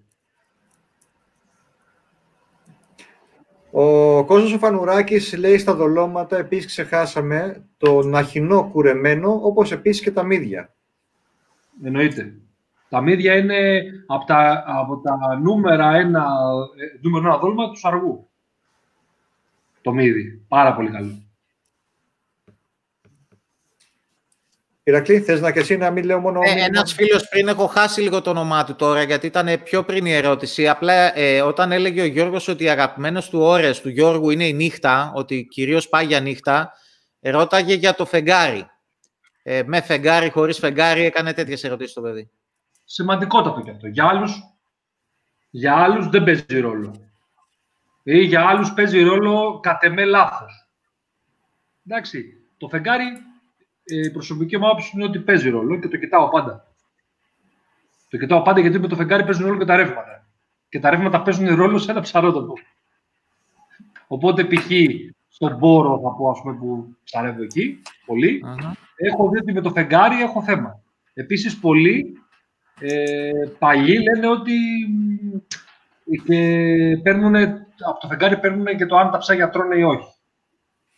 Που εκεί έχω έσταση, αλλά οι παλιοί αυτό λένε. Κοιτάνε ας πούμε τα τέταρτα του φεγγαριού. Είχε παράδειγμα λένε ότι τα ψάρια στο, στο πρώτο τέταρτο του φεγγαριού τρώνε ε, και στην Πανσέλινο τρώνε και δεν τρώνε στο τρίτο τέταρτο του φεγγαριού. Δεν τρώνε. Έτσι λένε. Το οποίο εγώ αυτό για μένα δεν έχει βάση. Δεν σημαίνει επειδή ε, ε, είναι το φεγγάρι στα τρία τέταρτα πάνω πει ότι δεν τρώνε τα ψάρια στην Κρήτη και δεν τρώνε και στον Εύρο, ξέρω εγώ παράδειγμα. Κάθε τόπη είναι διαφορετική. Μπορεί να γίνει και το αντίθετο. Δεν είναι κανόνα δηλαδή, το φεγγάρι. Το πιστεύω, αλλά δεν είναι κανόνα. Το πιστεύω για άλλους λόγου. Πιο πολύ για τα ρεύματα. Μια άλλη ερώτηση που επίσης εγώ έχω σημειώσει πιο πάνω, αν δεν κάνω λάθος, είναι από το φίλο μας τον Γιώργο, ε, όσον αφορά το κάρφωμα, μας ρώταγε. Ναι. Πώς καρφώνεις, λέει, όταν είναι 100 μέτρα μακριά η μπετονιά; Γενικά, ήθελα και εγώ να σε ρωτήσω για το κάρφωμα. Ε, πώς ναι, καρφώνεις, χρειάζεται. Καταρχήν, ε, τι γίνεται εκεί πέρα; Και όχι μόνο κάρφωμα, πώς στείνεις το μηχανάκι σου σχέση με τα φρένα. Είτε αν έχεις σύση, αν έχεις σειρώμενο, είτε αν έχεις τραβέτο. Θέλω να μου πεις. Ναι, αυτό το πήγα να το πω και το, το, μετά το ξεχάσαμε. Είπαμε κάτι και το ξεχάσαμε. Ναι. ναι, τώρα μου κάνετε δύο ερωτήσεις τώρα. Λοιπόν, ε, να απαντήσω στο Βαγγέλη, να πούμε λίγο για το ΣΥΣ αυτό που πες, γιατί είναι σημαντικό. Μάλλον πάμε, Ηρακλή, ξανακάνω πάλι την ερώτηση, συγγνώμη λίγο. Εγώ για το κάρφωμα θέλω να μάθω. Αν πρέπει να καρφώνουμε, πώς καρφώνουμε, όταν έχεις 100 μέτρα μακριά την πετονιά για το κάρφωμα, τι γίνεται, αυτό να μας πεις. Στο self το κάρφωμα είναι, είναι από τα νούμερο ένα πράγματα για να το αν θα πάρεις το ψάρι ή όχι. Mm-hmm. Εντάξει, το κάρφωμα παίζει σημαντικό ρόλο. Πολλοί υποστηρίζουν ότι και ο τρόπος που καρφώνεις παίζει ρόλο. Πολλοί υποστηρίζουν ότι το πλαϊνό κάρφωμα είναι καλύτερο από ότι το, το κάρφωμα το πάνω. Το πλαϊνό το κάρφωμα πολλοί πιστεύουν ότι είναι καλύτερο. Mm-hmm. Okay, εγώ καρφώνω προς τα πάνω και λίγο πλάγια μπορεί. Ε, εκεί παίζει ρόλο και τα αγκίστια που λες. Εκεί για τα κυκλικά που έλεγε ο Γιώργος. Στα κυκλικά mm-hmm. δεν θέλει κάρφωμα. Στην ουσία το ψάρι ότι είναι απάνω θεωρητικά. Αν πιαστεί πάνω σε κυκλικό αγκίστη. Αλλά με τον τρόπο που ψαρεύω, εγώ πάντα καρφώνω και ψαρεύω, καρφώνω πάντα προς το πάνω. Παίρνω μπόσικα, δηλαδή με τον τρόπο που ψαρεύω, να σου πω την τη τσιπούρα, γιατί υπάρχουν πολλοί τρόποι να ψαρεύεις τσιπούρα. Όταν λοιπόν μου έχει πάρει φρένα η τσιπούρα ή έχω νιώσει ότι έχω απάνω ψάρι, μαζεύω μπόσικα, πάω και καρφώνω κατευθείαν. Με το που νιώσω αντίσταση και με το που δω ότι πάρει το καλάμι, παίρνει τη μύτη του καλαμιού, καρφώνω κατευθείαν πάνω. Προς τα πάνω, καρφώνω, πάμε. Τέλος, δεν έχει. Έχω, Γιώργο, έχω την εντύπωση ότι έχω δει σε, ένα, σε κάποιο βίντεο σου ε, κάποιες στιγμές ε, λες απελευθέρωση το caps και άστο. Απελευθέρωση το; Το, το caps της μπετονιάς, του, του, στο μοτέρ. Άστο ελεύθερο δηλαδή. Μην, το, μην του βάζεις τίποτα. Άστο ανοιχτό. Το για ποιο πράγμα το δεν το κατάλαβα. Για το, για το, για το καρ, όχι, στο κάρφωμα, στο στήσιμο των καλανιών. Πριν το κάρφωμα, πριν το κάρφωμα, συνήθως όταν τραβάει η τσιπούρα, ε, δεν ξέρω αν το πεις σένα, ε, ανοίγουμε το caps και το αφήνουμε ανοιχτό. Το pick εμείς. Ανοίγουμε το pick-up. Ναι, το pick-up, ναι. Ωραία. Αυτό, Αυτό γιατί το άλλο, Θα σου πω. Αυτό είναι ένα άλλο μεγάλο κεφάλαιο της τσιπούρας. Η τσιπούρα, παιδιά, δεν τρώει με τον ίδιο τρόπο παντού. Είναι, παίζει ρόλο η τόπη. Ο κάθε τόπος, οι τσιπούρες είναι περίεργες. Είναι, γι' αυτό είναι και δύσκολο ψάρι. Στον κάθε, εδώ και στον ίδιο τρόπο, στον ίδιο τρόπο που ψαρεύεις, αλλάζει. Μπορεί να αλλάξει και, στα, και στο ίδιο ψάρεμα, ας πούμε. Μπορεί π.χ. να ψαρεύω με σειρώμενο βαρύδι τελείως ανοιχτά φρένα. Εντάξει. Να μου τραβάει το ψάρι να παίρνει φρένα, να το αφήνω και μπότσι κάπω λες και να καρφώνω και να την παίρνω και μετά να μου συμβαίνει αυτό να παίρνω κι άλλο χτύπημα, κι άλλο χτύπημα, κι άλλο χτύπημα και να τα χάνω, να μην μπορώ να πάρω ψάρια. Και να αλλάζω τον τρόπο να ψαρεύω με μισόσφιχτα φρένα. Και το καλάμι όρθιο, τελείως πάνω. Να ψαρεύει το καλάμι να του δίνει. Εκεί μετά τις παίρνω. Δεν χάνω ψάρι μετά. Μπορεί να γίνει το αντίθετο. Άλλος αφήνει πόσο πολλά. Δηλαδή του τραβάει το ψάρι, π.χ. ας πούμε, ο κουμπάρος μου, ας πούμε, σε πολλά μέρη ψαρεύει με αυτόν τον τρόπο. Με το που πάρει το. Γιατί υπάρχουν και πολλές ειδοποίησει, ε, και αυτό είπαμε μαϊμουδάκια, άλλοι βάζουν κουδουνάκια, άλλοι βάζουν αυτά. Με το που φύγει το μαϊμουδάκι, ας πούμε. Ήταν ερώτηση. Πώς καταλαβαίνεις, έτσι ερώτηση πάλι άσχετου, πώς καταλαβαίνεις, έχεις στήσει τα καλάμια σου εσύ, κάνεις το τσιγάρο σου, ξέρω εγώ. Πώς καταλαβαίνεις ότι. Μάλιστα. μαϊμουδάκι φαίνεται. Καρφώνεις ναι. την πετονιά πάνω ανάμεσα από τα δύο δαχτυλίδια του καλαμιού. Μπαίνει η πετονιά, αφήνεις μπόσικα, κατεβαίνει το μαϊμουδάκι κάτω και όταν τραβήξει ψάρι ανεβαίνει. Μάλιστα. Το κλασικό πατροπαράδοτο του κουδουνάκι. Εντάξει. Και υπάρχουν βέβαια και, εντάξει, και τέτοια κόλπα. Ηλεκτρονικό Ναι, και μπιμπεράκια υπάρχουν και τα λοιπα Τώρα είναι ανάλογα. Επειδή σου είπα, η τσιπούρα είναι πάρα πολύ δύσκολο ψάρι και αυτό είναι ο λόγος που χάνουμε πολλά ψάρια, είναι ώσπου να βρούμε στα μέρη πώς τις πιάνουμε. Με ποιο τρόπο, πώς πρέπει να κάνουμε. Δηλαδή, έχουμε, έχουμε κάνει απίστευτα πράγματα. Σε μέρη δηλαδή που είναι πολύ πονηρές τις τσιπούρες, να τραβάνε τώρα και να τις χάνεις για πλάκα. Δηλαδή, να έχεις ανοιχτά τα φρένα και να σου παίρνει 30 δευτερόλεπτα να σου παίρνει φρένα. Και να λε, αποκλείεται να μην είναι πάνω. Να τραβάει, να παίρνει, να παίρνει, να παίρνει, να παίρνει. Λες, να της δώσω, ρε φίλε, να το πάρει καλά το δόλωμα. Να τραβάει 30 δευτερόλεπτα, να καρφώνεις και να καρφώνεις κενό. Λες, δεν γίνεται, ρε. Πώς γίνεται. Αποκλείεται. Λοιπόν... Γιώργο, Γιώργο, συγγνώμη λίγο. Από τις σημάνσεις που μας έδειξες τώρα, θεωρείς ότι κάποια είναι η καλύτερη; Είναι, παίζει ρόλο πολλά πράγματα. Αυτό, αυτό προσπαθώ να πω. Παίζουν ρόλο πολλά πράγματα για να, να επιλέξεις. Άλλος στείλει τα καλάμια όρθια, τελείως. Π.χ. ας πούμε, οι ξένοι στο εξωτερικό, οι Ιταλοί, Ισπανοί, ξέρω εγώ, ας πούμε, τις βάσεις αυτές δεν ούτε καν τις, τις βλέπουν. Τις βάσεις, τις τρίποδες αυτές εδώ πέρα που ναι. ψαρεύουν, πιο πολύ ψαρεύουν με αυτές. Εντάξει, οι ξένοι ψαρεύουν με τις βάσεις αυτές εδώ, τις βάζουν τελείως κάθετα, κάθετα τελείως, και τα καλάμια τα σηκώνουν τελείως απάνω. Τελείως απάνω είναι, μη σου πω και προς τα πίσω. Προς τα πίσω κοιτάνε αντί να κοιτάνε μπροστά και ψαρεύουν κατά κύριο λόγο στο εξωτερικό, ψαρεύουν με τραβέντο. Με σταθερές αναμονωσίε. Γι' αυτό και τα καλάνια τα έχουν και ίσια. Ψαρεύουν τις τσιπούρε έτσι, εντάξει. Ε, Εμείς στην Ελλάδα δεν τις ψαρεύουμε έτσι, τις τσιπούρε. Τις ψαρεύουμε πιο πολύ με λιτά φρένα, είναι αλήθεια. Με λιτά, δηλαδή αυτό που κάνουν οι περισσότεροι, εντάξει. Τα φρένα είναι λιτά και βάζουν απάνω ένα μαϊμουδάκι ελαφρύ. Πολλοί δεν βάζουν τίποτα. Εγώ είμαι υπέρ αυτού. Σε σημεία πολλές φορές δεν θέλω να βάλω τίποτα πάνω τα καλάμια. Στείλω τα καλάμια και παρατηρώ, αλλά είμαι φόκου όμως. Εντάξει. Παρατηρώ τα τη των καλαμιών μου.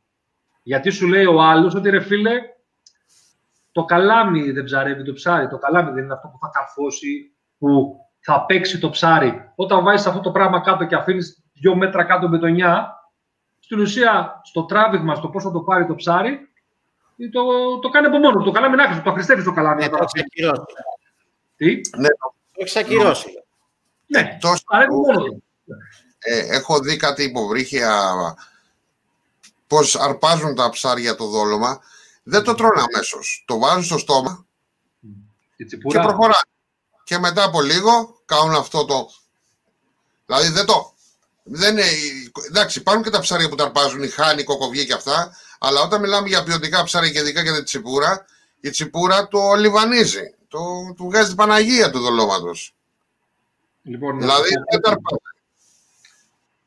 να σου πω κάτι, να, να γυρίσω λίγο πολλά χρόνια πίσω, να σου πω κάτι το οποίο το έχω ζήσει αυτό. Ναι. Ο πατέρας μου ήταν άρρωστος με το ψάρεμα. Και μου την κόλλησε και εμένα με την αρρώστια. Αλλά ο άνθρωπος ήταν πολύ άρρωστος για την τότε εποχή. Ο, ο τύπος λοιπόν τι είχε κάνει, και θα το πω έτσι, απίστευτο. Είχε φτιάξει παιδιά ενιδρίο. Είχε φτιάξει την τότε εποχή τώρα, το, το, το 2000 και πιο πίσω. Είχε φτιάξει ενιδρίο θαλασσινό, το οποίο έκανε κατασκευή για την τότε εποχή. Είχε βάλει μέσα ε, σωλήνες που έβαζε θερμοκρασία, ό,τι θερμοκρασία ήθελε. Είχε φτιάξει από πάνω με αλουμινόχρωτα και κάτι ειδικά να κάνει αστραπές, με μπαλόνια να τρέχουν νερά, να κάνει καιρικές συνθήκες και έβαζε μέσα λαδάκια, έβαζε μέσα τσιπούρες. Να δει τι, τι, τι, τι κάνει, κάνει το ψάρι. Προσωμιωτή δηλαδή. Ακριβώς. Παιδιά, το λέω τώρα και να τριχιάζω, το έχω ζήσει αυτό. Δηλαδή, ο άνθρωπος μιλάμε καθόταν μερόνυχτα και έψαχνε να βρει πραγματικά μυστικά. Να μπει στο μυαλό του ψαριού. Ακριβώς. Έτσι ξεχωρίζει κάποιος, ας πούμε. Δεν έχει τύχη που σου λέει άλλος, ας πούμε, ρε φίλε, ας πούμε, και στη βάρκα Ηράκλη, στην κάθε τύπη Τρία χέρια ή τρία καλάμια, ένας βγάζει. Γιατί άλλο Δεν είναι μόνο. Μετά για δολώματα είναι και άλλα πράγματα. Δεν είναι μόνο τα καλά, είναι και, άλλα, είναι και εδώ πολλά πράγματα. Καταλαβαίνεις. Σωστά. Επανέρχομαι λοιπόν σε αυτό που σου λέω ότι έχω δει με τα μάτια μου αυτό που λες. Ε, τσιπούρα να το κάνει επί μία ώρα. Πω.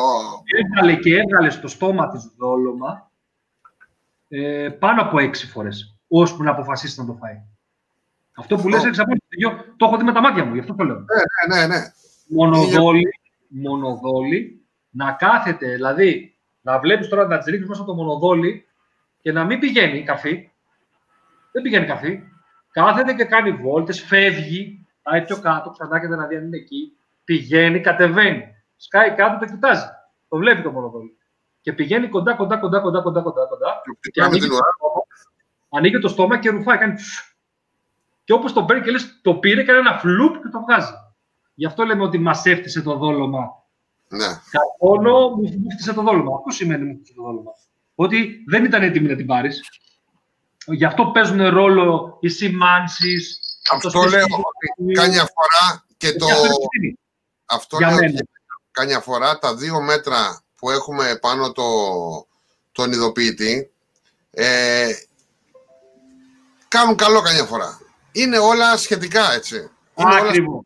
Είναι, είναι όλα είναι, σχετικά. όλα σχετικά, όπως το πες, είναι όλα σχετικά. Καλό είναι να γνωρίζεις πολλούς τρόπους. Να έχεις γνώση το πώς θα στήσεις τον εξοπλισμό σου ε, και να έχεις στη φαρέτρα σου όπλα. Και πας, δοκιμάζεις αυτό. Παρατηρείς, βλέπεις, δεν σου κάνει, έχασες ψάρι.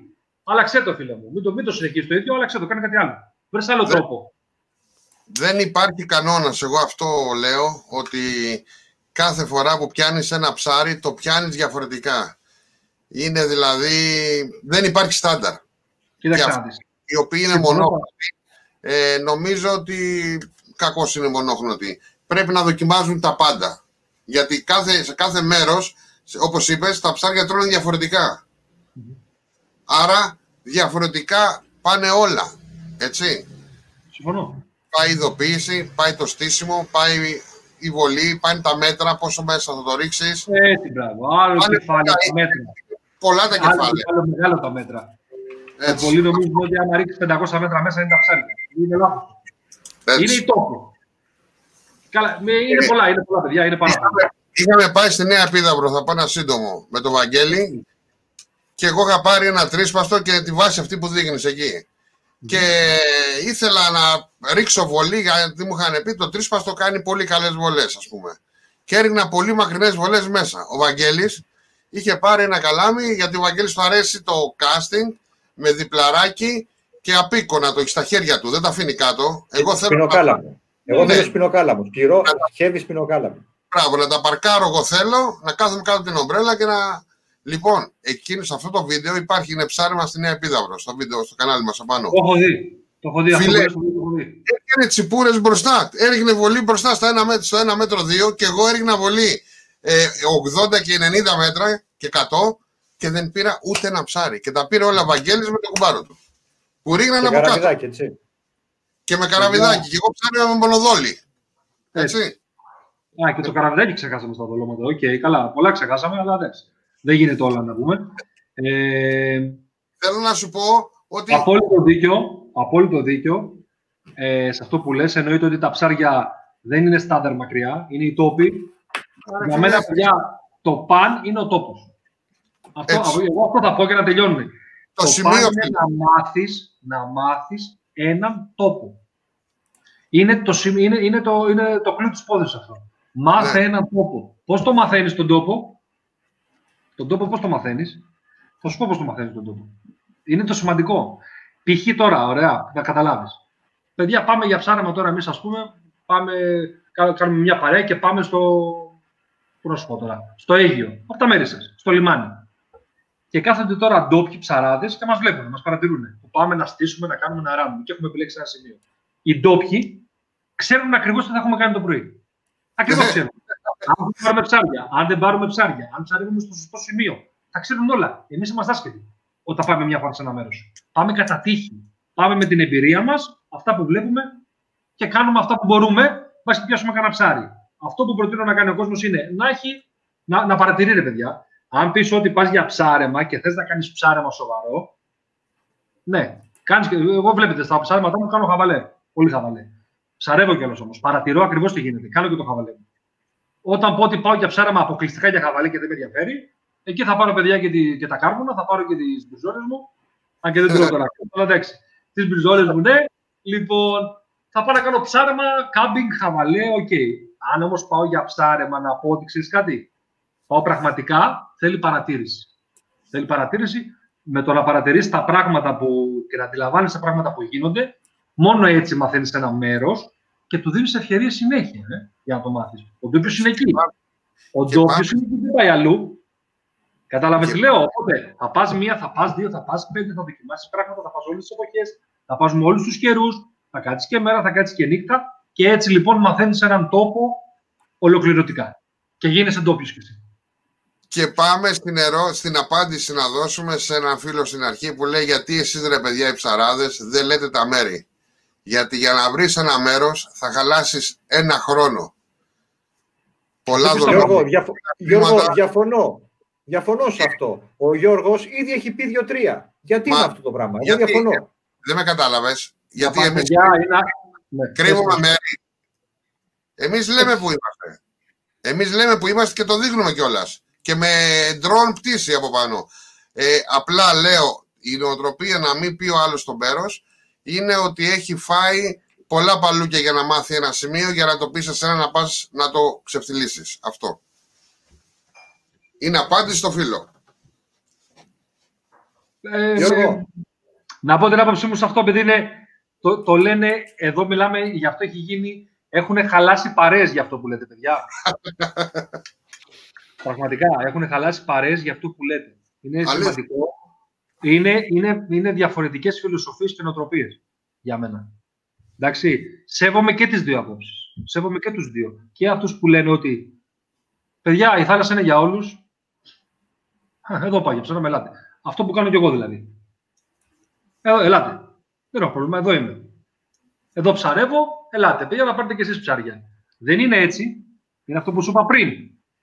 Όταν θα πας για ψάρεμα και θα κάθομαι εγώ από κάτω και θα σε βλέπω, ξέρω ακριβώς τι θα κάνεις. Δεν είναι τόσο απλό επειδή βρήκες το μέρος, σου είπε ο άλλο τον ψαρότοπο. Δεν τον έμαθες κιόλας. Όταν πας 10, 15, 20 φορές, όταν ψαρέψεις ένα χρόνο, τότε θα τον έμαθες. Μπορεί να σου πω πού είναι τα ψάρια, τα ψάρια που είναι επειδή τα έτυχε να πέσω πάνω του. Εντάξει. Δεν σημαίνει ότι θα πας. Μπορεί να πας μετά άλλες 10 φορές και να μην πάρεις τη τσιμπιά. Εντάξει. Οπότε λοιπόν, ε, ο άλλος σου λέει ναι, ρε φίλε, αυτό που λες και εσύ Γιώργο, και, και δεν το συζητώ μαζί τους είμαι κιόλας. Ναι. Όταν ο άλλος πηγαίνει για ψάρεμα δύο φορές τη βδομάδα, παιδιά, και μιλάμε για άρρωστους, ας πούμε, άρρωστους με την καλή έννοια εδώ, καταλαβαίνει. Θα πάρουν πολλά δολώματα, θα κάτσουν πολλές ώρες κτλ. Και, και πάνε δύο φορές τη βδομάδα, μια φορά τη βδομάδα, όσο πάει ο καθένας. Πηγαίνουν λεφτά, δεν είναι λίγα λεφτά. Είναι, είναι έξω. Ένας τέλειος ψαράς, ας πούμε, έχει έξοδα. Και δεν μπορεί να τρώει τις πατάτες όλο τον χρόνο και να κάτσει να σου βρει ένα μέρος και μετά να κάτσει να βγάζει φωτογραφίες, παιδιά, είμαι εδώ, ελάτε. Τι σέβομαι και αυτό. Και δεν το λέει, γι' αυτό είναι καλά κάνει και δεν το λέει, γιατί εγώ προσωπικά το σέβομαι αυτό που λέει. Δεν θα του πω, ρε φίλε, είσαι κρυψίνος, δεν λες τα μέρη και δεν κάνεις και δεν ράνεις. Δικαίωμά σου. Γι' αυτό και ποτέ δεν ρωτάω ποτέ κανέναν που πάει για ψάρμα. Ποτέ. Ποτέ, ποτέ. Το θεωρώ ερώτηση τζιζ. Δεν ρωτάω ποτέ. Ή που πήρες τα ψάρια, ή που πας για ψάρεμα, ποτέ.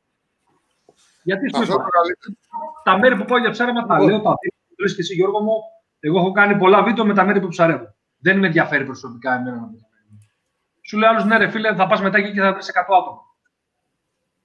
Γιατί δείχνεις τον πόρο, γιατί δείχνεις ε, την άνδρο, γιατί δείχνεις το, το κορινθιακό.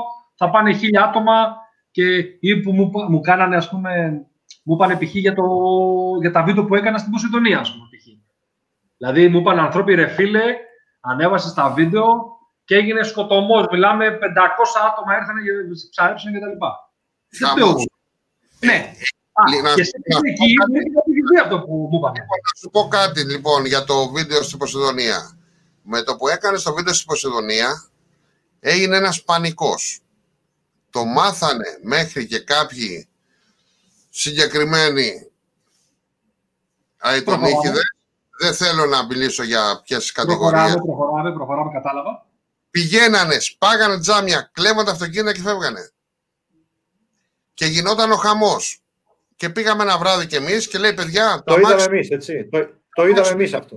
Και σκάνει η μύτη η παρείτσα με τηλέφωνο και καθόντουσαν εκεί απίκο. Δεν φεύγανε Αλλά δεν φεύγαμε κι εμείς γιατί είχαμε κάτσει μπροστά στο καράζ. Δεν πήγαμε στο σημείο που θέλαμε, αλλά επειδή μας είπαν έτσι, λέω κάτσε καθίστε εδώ, παιδιά, μπροστά. Μιλάμε, mm. ε, το τι έγινε όταν από κλοπές δεν λέγεται. Έτσι. Ωραία. Μετά το, το δικό σου. Και θα κάνω εγώ τώρα μία ερώτηση. Αυτό λοιπόν έγινε από ένα βίντεο που ανέβηκε στο YouTube; Αυτό σου λέω. Ερώτηση, πάλι ερώτηση. Είπα ότι δεν σημαίνει επειδή πήγα, παιδιά, έχω, γύρισα λοιπόν στην, στην Ποσειδονία, γύρισα τέσσερα βίντεο. Δημοσίευσα τέσσερα βίντεο. Ξέρετε πόσα ψέματα έχω κάνει με τον Γιάννη εκεί; Και όχι μόνο με τον Γιάννη, και μάλλον. 20. 20 ψέματα έχω κάνει εκεί. Το πιστεύω γιατί Από το τα ζω. 20, τα 16 ήταν φόλα. Τα 4 πήγαμε κάποια ψάρια. Μμ. Το καταλαβαίνετε αυτό. Δεν σημαίνει επειδή ανεβάζουμε ένα βίντεο. Αυτό το λέω, δεν το λέω για μένα, το λέω για όλο τον κόσμο. Έτσι Εντάξει, το όλοι κάνουμε. κάνουμε αυτό το πράγμα που ανεβάζουν βίντεο με ψαρέματα, με τόπους κτλ.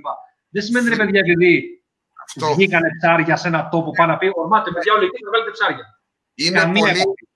πολύ σημαντικό αυτό που λες. Έχουμε ένα δίσκο 4 τέρα με αποτυχημένα ψαρέματα. Ακριβώς. Απλά τα κρατάμε γιατί να τα Πολλοί έχουμε. νομίζουν, ναι, πολλοί νομίζουν Είπες ότι. μεγάλη κουβέντα τώρα. Είπες Ναι, μεγάλη βέβαια. κουβέντα. Ναι, εννοείται. Ο άλλος, επειδή βλέπει ένα βίντεο που βγάζεις ψάρια, πάει να πει ότι νομίζω ότι όποτε πάμε για ψάρμα γίνεται παιδιά σκοτωμός. Τα, έχουμε, τα έχουν δέσει τα ψάρια οι προηγούμενοι και λέει παιδιά, ελάτε. Εδώ είναι πάρτε. Εννοείται Ναι, ότι ναι. θα βάλουμε το καλύτερό μας ψάρεμα. Ναι. Ναι. Θέλω να Δεν σου πω, ρε παιδιά. σημαίνει ότι Επειδή- πάντα ψαρεύουμε για- και πια- Όλοι όσοι κάνουν αυτό το πράγμα έχουν πάρα πολύ αρχείο, το οποίο δεν είναι, είναι αδημοσίευτο. Μμ. Και μιλάμε για δουλειά τώρα. Παιδιά, εσείς με καταλαβαίνετε. Καταλαβαίνετε ακριβώς τι λέω. Ξέρω. Για πολλή δουλειά.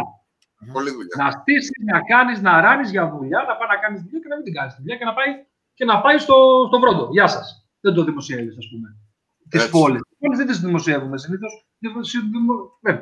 Δημοσιεύουμε τα ψαρέματα τα οποία έχουμε επιτυχία. Δεν σημαίνει όμως, εγώ το λέω, δεν σημαίνει ότι όλα μας τα ψαρέματα είναι έτσι και ότι παιδιά, δείξαμε ένα τόπο, ναι, όλοι εκεί πήγαιναν να πάνε Και λέω, Γιώργο, μιας και είναι εκεί πέρα. Εκεί μένετε, εκεί από ό,τι ξέρω και τα λοιπά, εκεί είστε. Πόσα ψάρια βγήκαν, ρε παιδιά, για πείτε μου.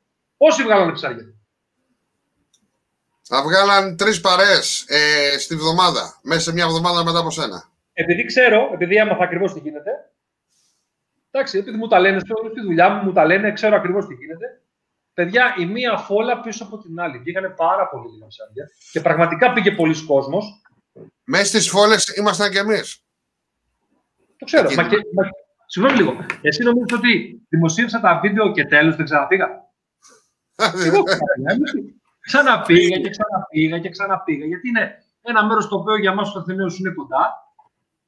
Καταλαβες; Και πάω. Ή και αυτό το άλλο που, που δεν μπορώ να το ακούω, κάει και το μέρος. Τι καεί και το Καεί. μέρος. Καεί και το μέρος. Εντάξει, οκ, κάει και το μέρος. Εγώ θα πάω σε καμένα μέρη και θα πάρω ψάρια. Σε μέρη που ξέρω όμως, ε. Όχι σε μέρη που δεν ξέρω. Σε μέρη που δεν ξέρω θέλω πολύ χρόνο για να πάρω ψάρια. Έτσι. Λοιπόν, παιδιά, Ωραία. για να σας συμμαζέψω, να σας συμμαζέψω λίγο. Γιώργο, μην μιλήσεις άλλο. Δεν Μου έχει μιλάω. αφήσει κάποια κενά. Μου έχει Ούτε αφήσει εγώ, κάποια Γιώργο, κενά. δεν ξέρω να μιλάω. τέλος. Λοιπόν, θα μιλήσει ο Γιώργος, ο Σύφης. Σύφης Γιώργος. Α, Θέλω να πάμε. μου πεις λίγο για να, ολο- να ολοκληρώσουμε το κομμάτι casting. Αυτό που σε ρώτησα σε σχέση με τα φρένα, σε σχέση με το αν χρησιμοποιείς τραβέτο ή, ή σειρώμενο, Απάντησα. το στήσιμο του καλαμιού ανάλογα την περίπτωση σε αυτά τα δύο και πότε Έχω χρησιμοποιείς το ένα, πότε το άλλο. Ωραία. Τρεις πάμε. ερωτήσεις. Ωραία. Αρματοσχές δεν υπάρχει πότε και πού τις χρησιμοποιούμε. Δοκιμάζουμε. Να δούμε όπως όλα αυτά που είπα, δοκιμάζω να δω πού θα πάρω ψάρια. Οπότε, άμα ρίξω μια αρματοσιά, θα ρίξω μια αρματοσιά με τραβέντο. Μπορεί να ρίξω μια αρματοσιά με σειρώμενο βαρύδι. Μπορεί να ρίξω μια αρματοσιά με σειρώμενο αγκίστρι. Υπάρχουν πολλών ειδών αρματοσιές. Εντάξει. Λοιπόν, ε, η θεωρία λέει ότι τα καλάμια τα οποία ψαρεύουν με σειρώμενα βαρύδια, τα φρένα τα έχουμε ανοιχτά. Αυτός είναι ο λόγος. Σε σειρώμενες αρματοσιές δεν υπάρχει λόγος να έχω τα φρένα κλειστά και λέω έχω σειρώμενο να πάρει το ψάρι να φύγει, αφού έχω τα φρένα κλειστά, πώς θα φύγει; Οπότε ακυρώνω θεωρητικά το σειρώμενο. Ανοιχτά φρένα, σειρώμενη αρματοσιά. Κλειστά φρένα, ψαρεύω στο καλάμι όρθια αστητά να μου δουλέψει το καλάμι, σταθερή Πάρα αρματοσιά. Σταθερή αρματοσιά. Ξαναλέω, δεν είναι κανόνας, έτσι κάνω εγώ. Εντάξει. Σωστό. Αυτό. Στο πάτησε. Ναι. Στο πάτησε. Και σωστά Άλλο. κάνεις. Και σωστά κάνεις. Ωραία. Λοιπόν, Βαγγέλη, Κάποια άλλη ερώτηση, Ηρακλή; Ναι, εγώ έχω μια ερωτησούλα έτσι από τις τελευταίες του φίλου μας του Σέκρο. Ρωτάει μετά από βροχή και κακοκαιρία, αν είναι καλύτερα ή χειρότερα αποτελέσματα. Πιο, οι παλιοί λέγανε ότι μετά την κακοκαιρία έχει ψάρια. Τρώνε. Εντάξει. Ε, δεν είναι στάνταρ. Ναι. Οκ, ναι. Έχει κακοκαιρία, έχει βροχή, έχει ανακατέψει τη θάλασσα, έχει ανακατέψει την άμμο, έχει ανακατέψει το πυθμένα. Έχουν βγει δολώματα και τα ψάρια έχουν, είναι σε κίνηση, αν θέλεις. Ναι, να το πω ναι. Ναι. Οκ. Δεν είμαι με τα μπούνια, αλλά εντάξει, ναι, οκ. Εντάξει. μάλιστα. Ωραία. Τέλεια. Λοιπόν, Νομίζω το Κάπου καλύπτουμε εδώ- όσο, όσο μπορούσαμε σήμερα το Ναι. θέμα. Κλείνουμε. Είχαμε δυόμιση ώρες εγώ εκπομπή, παιδιά. θε- θέλω να πούμε, να θυμίσουμε στους φίλους μας να γραφτούν στο κανάλι μας. Ακολουθούν δύο διαγωνισμοί, Ηρακλή. Διαγωνισμός, παιδιά, σούπερ διαγωνισμός. Μια ηλεκτρική άγκυρα, προφορά, προσφορά της Σούρος Marine. Το πρωτοχρονιάτικό μας δώρο, αξία 1.500 ευρώ, μια ηλεκτρική άγκυρα Ρήνο. Και επίσης τα Χριστούγεννα, καταδυτικό ρολόι Σούντο D5i, προσφορά από τη Σούντο Ελλάς, την εταιρεία Shop and Trade. Κάντε εγγραφή στο κανάλι, θα ακολουθήσουν βίντεο με τις οδηγίες. Μπράβο, ρε παιδιά, μπράβο. Και, επιστρέ... και επιστρέφω στο Γιώργο να τον ρωτήσω αν έχει να, να προτείνει κάποια, να πει κάποιο tip στους φίλους που μας παρακολουθούν, κάποια συμβουλή, κάτι που θες να πεις και να μην σε Γενική. αφήσαμε, να το ξεχάσουμε. Γενική, όχι συγκεκριμένη, μια γενική Ναι. συμβουλή. Ότι, ότι, όχι μόνο γενική, και σε κάτι που μπορεί να μην το αφήξαμε. Κάτι που του έχεις στο μυαλό και το ξεφύγε, μας ξέφυγε. Καλά, πολλά πράγματα μπορεί να μας έχουν ξεφύγει. Τώρα, εμείς είπαμε, προσπαθούσαμε να πούμε να τα μαζέψουμε όσο μπορούμε. Ναι, σωστά. Για μένα, παιδιά, πραγματικό ρόλο είναι τα τελευταία που σας είπα. Για μένα. Ναι, σημαντικό ρόλο παίζει ο εξοπλισμός. Δεν το συζητάμε. Να έχεις ένα σετάκι σωστά δεμένο, ο εξοπλισμός να είναι δεμένος, να ξέρεις πότε πρέπει να χρησιμοποιήσει, ανάλογα με τις καιρικές συνθήκες κτλ, κτλ, κτλ. Είναι πολλά τα τεχνικά, είναι πάρα πολλά, ναι, πραγματικά. Πρέπει να τα μάθει κάποιος. Αλήθεια είναι, οκ. Για μένα, αν θες να έχεις επιτυχία στο ψάρεμα, παίζουν ρόλο εκτός από αυτά. Εγώ θα βάλω ένα 40% από αυτά. Ένα 60% είναι το να πηγαίνουμε στη θάλασσα. Αυτά που είπε στο τέλος. Να παρατηρούμε, αν θέλουμε να έχουμε επιτυχίες στο ψάρεμα, στο casting ένας καστερά, πρέπει να κάνει δοκιμές, πρέπει να δοκιμάζει, πρέπει να παρατηρεί, πρέπει να έχει αντίληψη και πάνω απ' όλα να μάθει τόπο. Να μάθει ένα τόπο. Που σας είπα πριν, πώς το μαθαίνουμε. Πολλοί κάνουν ένα λάθος. Ε, ναι, πάμε στη, στη- στην Εράτζα. Λέω τώρα μέρη από εσάς, εντάξει. Πάμε στην Εράτζα. Ναι, δεν πήραμε τσιμπιάλο το βράδυ. Πάει, δεν κάνει. Είναι πισίνα. Γεια σας, δρόμο. Δεν είναι έτσι. Θέλει να πηγαίνεις και να ξαναπάς. Τώρα θα μου πεις, Έφαγα μία πατάτα, δύο πατάτες, τρεις πατάτες, θα ξαναπάω. Ένας έμπειρος λοιπόν, και θα το κλείσω εκεί, στο τελευταίο βίντεο που πήγαμε το Γιάννη, που πήγαμε από κορυφιακό μεριά, το- πήγα σε ένα τόπο, δεν ξέρω αν είδατε το βίντεο, που λέω να δοκιμάσουμε ένα καινούριο μέρος που πέσαμε σε φύκια πάνω. Και τι παραπεί Ναι. αυτό. Το μέρος εγώ πέθα πλάκα, τρελάθηκα. Νομίζω κρυονέρ, κάπως έτσι λεγόταν. Κατά τι και το πήγα. Και το λέω καλά το μέρος, νομίζω κρυονέρ πρέπει να λέγεται. Θα σου Πήγαμε πω εγώ, και- ναι, που πάρω και κα- κάνω ψαραντούφεκο σε αυτά. Ε, ωραία, Θα σου ε, πω εγώ εσένα που θέλω. έχει χιλιάδες. Πες Πού είναι τα ψάρια. Εσένα θέλουμε τα μία μέσα. Λοιπόν, πήγαμε κατά τύχη. Οκ, ναι. Πέσαμε πάνω στα φύκια. Αυτό που είδα εγώ με το μάτι το δικό μου, τον τόπο όπως τον ψυχολόγησα και αυτές τις τρεις τόσες ώρες που ψάρεψα εκεί πέρα, είναι σίγουρο ότι θα ξαναπάω. Άσχετα αν έπεσα σε φύκια. Τα φύκια δεν είναι πάντα. Εντάξει, έπεσα σε φύκια, οκ, θα πάω πιο κάτω, θα το ψάξω λίγο καλύτερα γιατί πήγα κατά τύχη τελείως, δεν ήταν ψαχμένο το μέρος. Δεν το ακυρώνω, επειδή είδα πράγματα που ένας έμπειρο μπορεί να καταλάβει και να του ξαναδώσω ευκαιρία εγώ προσωπικά εκεί. Αυτά, παιδιά. Πάντως, ένας Γιώ- λόγο Γιώργο, που περίμενε. είχα πάρει το Γιώργο, drone, Γιώργο. ε, Γιώργο, ήταν αυτός. Για να μπορώ να πετάω και να βλέπω πού έχει φυκιάδα και πού έχει κενό. Αυτό ήταν ένα, ένα tips από μένα. Σωστό. Θα πω εγώ κι άλλο πάνω σε αυτό που λες, γιατί πολλοί δεν έχουν drone για να κάνουν αυτή τη δουλειά. Ε, ένα, ένα ωραίο κόλπο είναι να πάρεις ένα μολύβι άγκυρα. Τα μολύβια που έχουμε τις άγκυρες. Όταν πας σε ένα τόπο που δεν το ξέρεις καθόλου, πάρε ένα καλάμι, χωρίς αγγίσα, χωρίς τίποτα, ένα μολύβι, ρίχτω μέσα Κάνε μια μακρινή βολή και άρχισε και μάζευε σιγά σιγά σιγά σιγά να δεις τι γίνεται. Έχεις καλώματα μου, σκάλο η άγκυρα, τη βγάζεις βέβαια. Ε. Έχει να βγάλεις έξω αν έχει φυκιάδα, αν είναι καθαρή άμμο. Έτσι καταλαβαίνεις και ένα βυθό. Α πούμε, να δίνω και εγώ ένα τύπο σε αυτούς που δεν έχουν τρόπο. Που είναι πιο οικονομικό. Πολύ καλύτερο.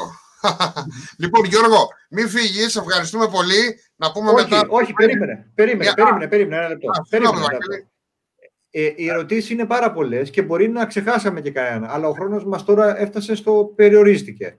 Γιώργο μου, θέλω να, να πεις στους φίλους που μας, βλέπει, μας βλέπουν πού μπορούν να σε βρούνε, πού μπορούν να μιλήσουν μαζί σου και πού μπορούν να, να σου θέσουν και ερωτήσεις κιόλας. Κοιτάξτε να δείτε. Αυτό είναι, ναι, παιδιά, είναι άλλο ένα κομμάτι δύσκολο για μένα. Είναι, λέει, αυτό που λες. Το πού μπορούν να με βρούνε, ναι. Εγώ βρίσκομαι στο κατάστημα του Χαλανδρίου. Εκεί μπορούν να με βρούνε. Ε, το θέμα είναι ότι ο χρόνος μου είναι πάρα πολύ περιορισμένος, είναι αλήθεια. Εντάξει. Δηλαδή, π.χ. Ε, προτιμώ που λέει ο λόγος, δηλαδή και εσείς τώρα, παιδιά, άμα θα έρθετε τώρα στη δουλειά μέσα, δεν θα έχω πάρα πολύ χρόνο να κάτσουμε να κουβεντιάσουμε, να μιλήσουμε, να πούμε. Τα πράγματα τρέχουν. Είναι... Δεν μιλάμε για καφέ, δεν πίνουμε καφέ. Ένα τύπο εδώ πέρα που θέλουμε να ρωτήσουμε, πούμε, μπορώ να το γράψω στο κανάλι σου από κάτω. Θα με το δεις να απαντήσεις. Έχεις κάποια σελίδα; τότε δεν κατάλαβα καλά, συγγνώμη.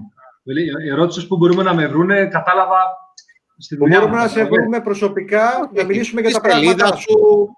Και στη δουλειά μου είναι ότι μπορεί να με βρει ο κόσμος. Απλώς εξηγώ ότι, ότι δεν έχω το χρόνο. Επειδή η ρυθμή είναι πάρα πολύ γρήγορη, δεν έχω το χρόνο αυτό. Στα social απαντάω παιδιά σχεδόν σε όσο μπορώ. Απαντάω παντού. Στο YouTube μπορεί να με βρούνε, στο, στο Facebook, στη σελίδα και να πω και κάτι άλλο. Ε, ότι παιδιά, γιατί πολλοί με παρεξηγούν γι' αυτό. Η σελίδα στο Facebook, η προσωπική μου, Γιώργος Μιχαλάκης, είναι, δεν, δεν είναι της δουλειάς, να το πω έτσι. Είναι πολύ προσωπική και κάνω φίλους μόνο πολύ ανθρώπους που τους γνωρίζω. Καταλάβατε; Ο, δηλαδή, ενώ στη σελίδα του, στο, στο facebook του μαγαζιού, εννοείται ότι εκεί απαντάω ερωτήσεις, μηνύματα, τα πάντα. Και ό,τι ερωτήσεις μου κάνει ο κόσμος κάτω από τα social, προσπαθώ να απαντάω. Καταλαβαίνετε ότι εντάξει, απαντάω βέβαια σε όλους, ε. Άρα στη σελίδα Γιώργος Σύφης Fishing στο Facebook. Εκεί μπορούν να σε βρουν τα παιδιά. Ε, μα εννοείται. Εννοείται, ε, εννοείται μηνύματα κάτω από τα βίντεο στο YouTube. Ε, στο κανάλι και όσον αφορά ένα παιδί που ρώταγε τιμές από μηχανάκια και καλάμια, εκεί είναι το κατάστημα, έχει και σελίδα ο, ο Γιώργος, μπορείτε να πεις να δεις. Να το πάρεις τηλέφωνο. από το ισόπο ο καθένας μπορεί πλέον να δει ότι θέλει τα πάντα Ακριβώς. Να δει τιμές, να δει, δηλαδή, εντάξει, τώρα πατάει casting, βλέπει τιμές, τα πάντα, ό,τι θέλει. Οπότε δεν είναι, πιστεύω ότι το να ρωτήσει κάποιος μια τιμή τη σήμερα ημέρα, ρε φίλε, ένα κλικ είναι πάτα και δεν θα δεις τις τιμές. Αυτά. Γιώργο, Τέλεια. ευχαριστούμε λοιπόν, πάρα, πάρα πολύ. Εγώ, παιδιά, ήταν φοβερή εκπομπή, Γιώργο. Σε ευχαριστούμε πάρα πολύ που μας έκανες την τιμή. Ευχαριστούμε, παιδιά. Ευχαριστούμε, Γιώργο. Δεν κατάλαβα πώς πέρασε η ώρα, παιδιά. Σε, σε περιμένουμε για φτάρμα. Σε κατεβάζουμε κάτω, μην φύγεις όμως. Για λίγο. Δεν φεύγω. Δεν φεύγω, εδώ είμαι. Να είστε καλά, παιδιά. Γεια σου. Γεια σου, Γιώργο. Λοιπόν, Γεια σου, παιδιά, άλλη μια εκπομπή έφτασε στο τέλος, δυστυχώς. Αυτό ήταν, ναι. Έχω να πω ότι η εκπομπή ξεκίνησε 29 του μήνα και καταλήγει 30. Χρόνια πολλά στους Αντρέες, Αντρέιδες, Ανδριάνες, έτσι. Χρόνια πολλά και σε μένα που έπισα τους 40 κύκλους γύρω από τον ήλιο. Από τον ήλιο Πολύ χρόνο. Πολύ χρόνο. Να σε χαιρόμαστε, Βαγγέλη. Να σε χαιρόμαστε. Να καλά, παιδιά. Ε, θα σας καίναγα, αλλά όψομαι. Αύριο. Όψομαι. Αύριο. Λοιπόν. Να ευχαριστήσω με, με, τη σειρά μου τους φίλους που ήταν μαζί μας. Φυσικά το Γιώργο από το Civis Fishing. Άλλο ένα live σεμινάριο, παιδιά, για μένα. Έτσι. Εσείς... Ραντεβού την Παρασκευή με άλλο ωραίο καλεσμένο και ωραίο θέμα. Μην ξεχνάτε, Πολύ όπως είπαμε, τους διαγωνισμούς, κάντε εγγραφή στο κανάλι. Όσοι να πούμε και ποιο θέμα, Ηρακλή, έτσι; Ε; Ηρακλή, να πούμε και ποιο θέμα. Α, το self-casting στο... Α, συγγνώμη. Εντάξει, δεν το λέω. Δεν το λέω. Εντάξει. Έτσι, μπράβο. Θα να είναι έχει... έκπληξη για λίγο ακόμα. Να έχει και νόστατο το τρέιλερ, φίλε. Εντάξει, εντάξει, σωστά. Έχεις δίκιο. Συγγνώμη. Αν και το είπα στην αρχή. Πολύ σύντομα λοιπόν για το επόμενο θέμα την Παρασκευή που έρχεται. Εγώ όπως λέω πάντα να κάνετε ένα like στο βίντεο όσοι το δείτε, να μας βοηθήσετε έτσι να μεγαλώσουμε στο YouTube. εγγραφή στο κανάλι, θα σας χρειαστεί και για τους διαγωνισμούς, αλλά ούτως ή άλλως.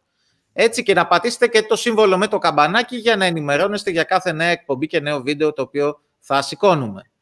Έτσι. Αυτά. Και από μένα, φιλιά στα μούτρα όλων. Γεια χαρά, παιδιά. Να περνάτε καλά. Να είστε Γεια χαρά, καλά όλοι. παιδιά. Γεια χαρά. Γεια χαρά.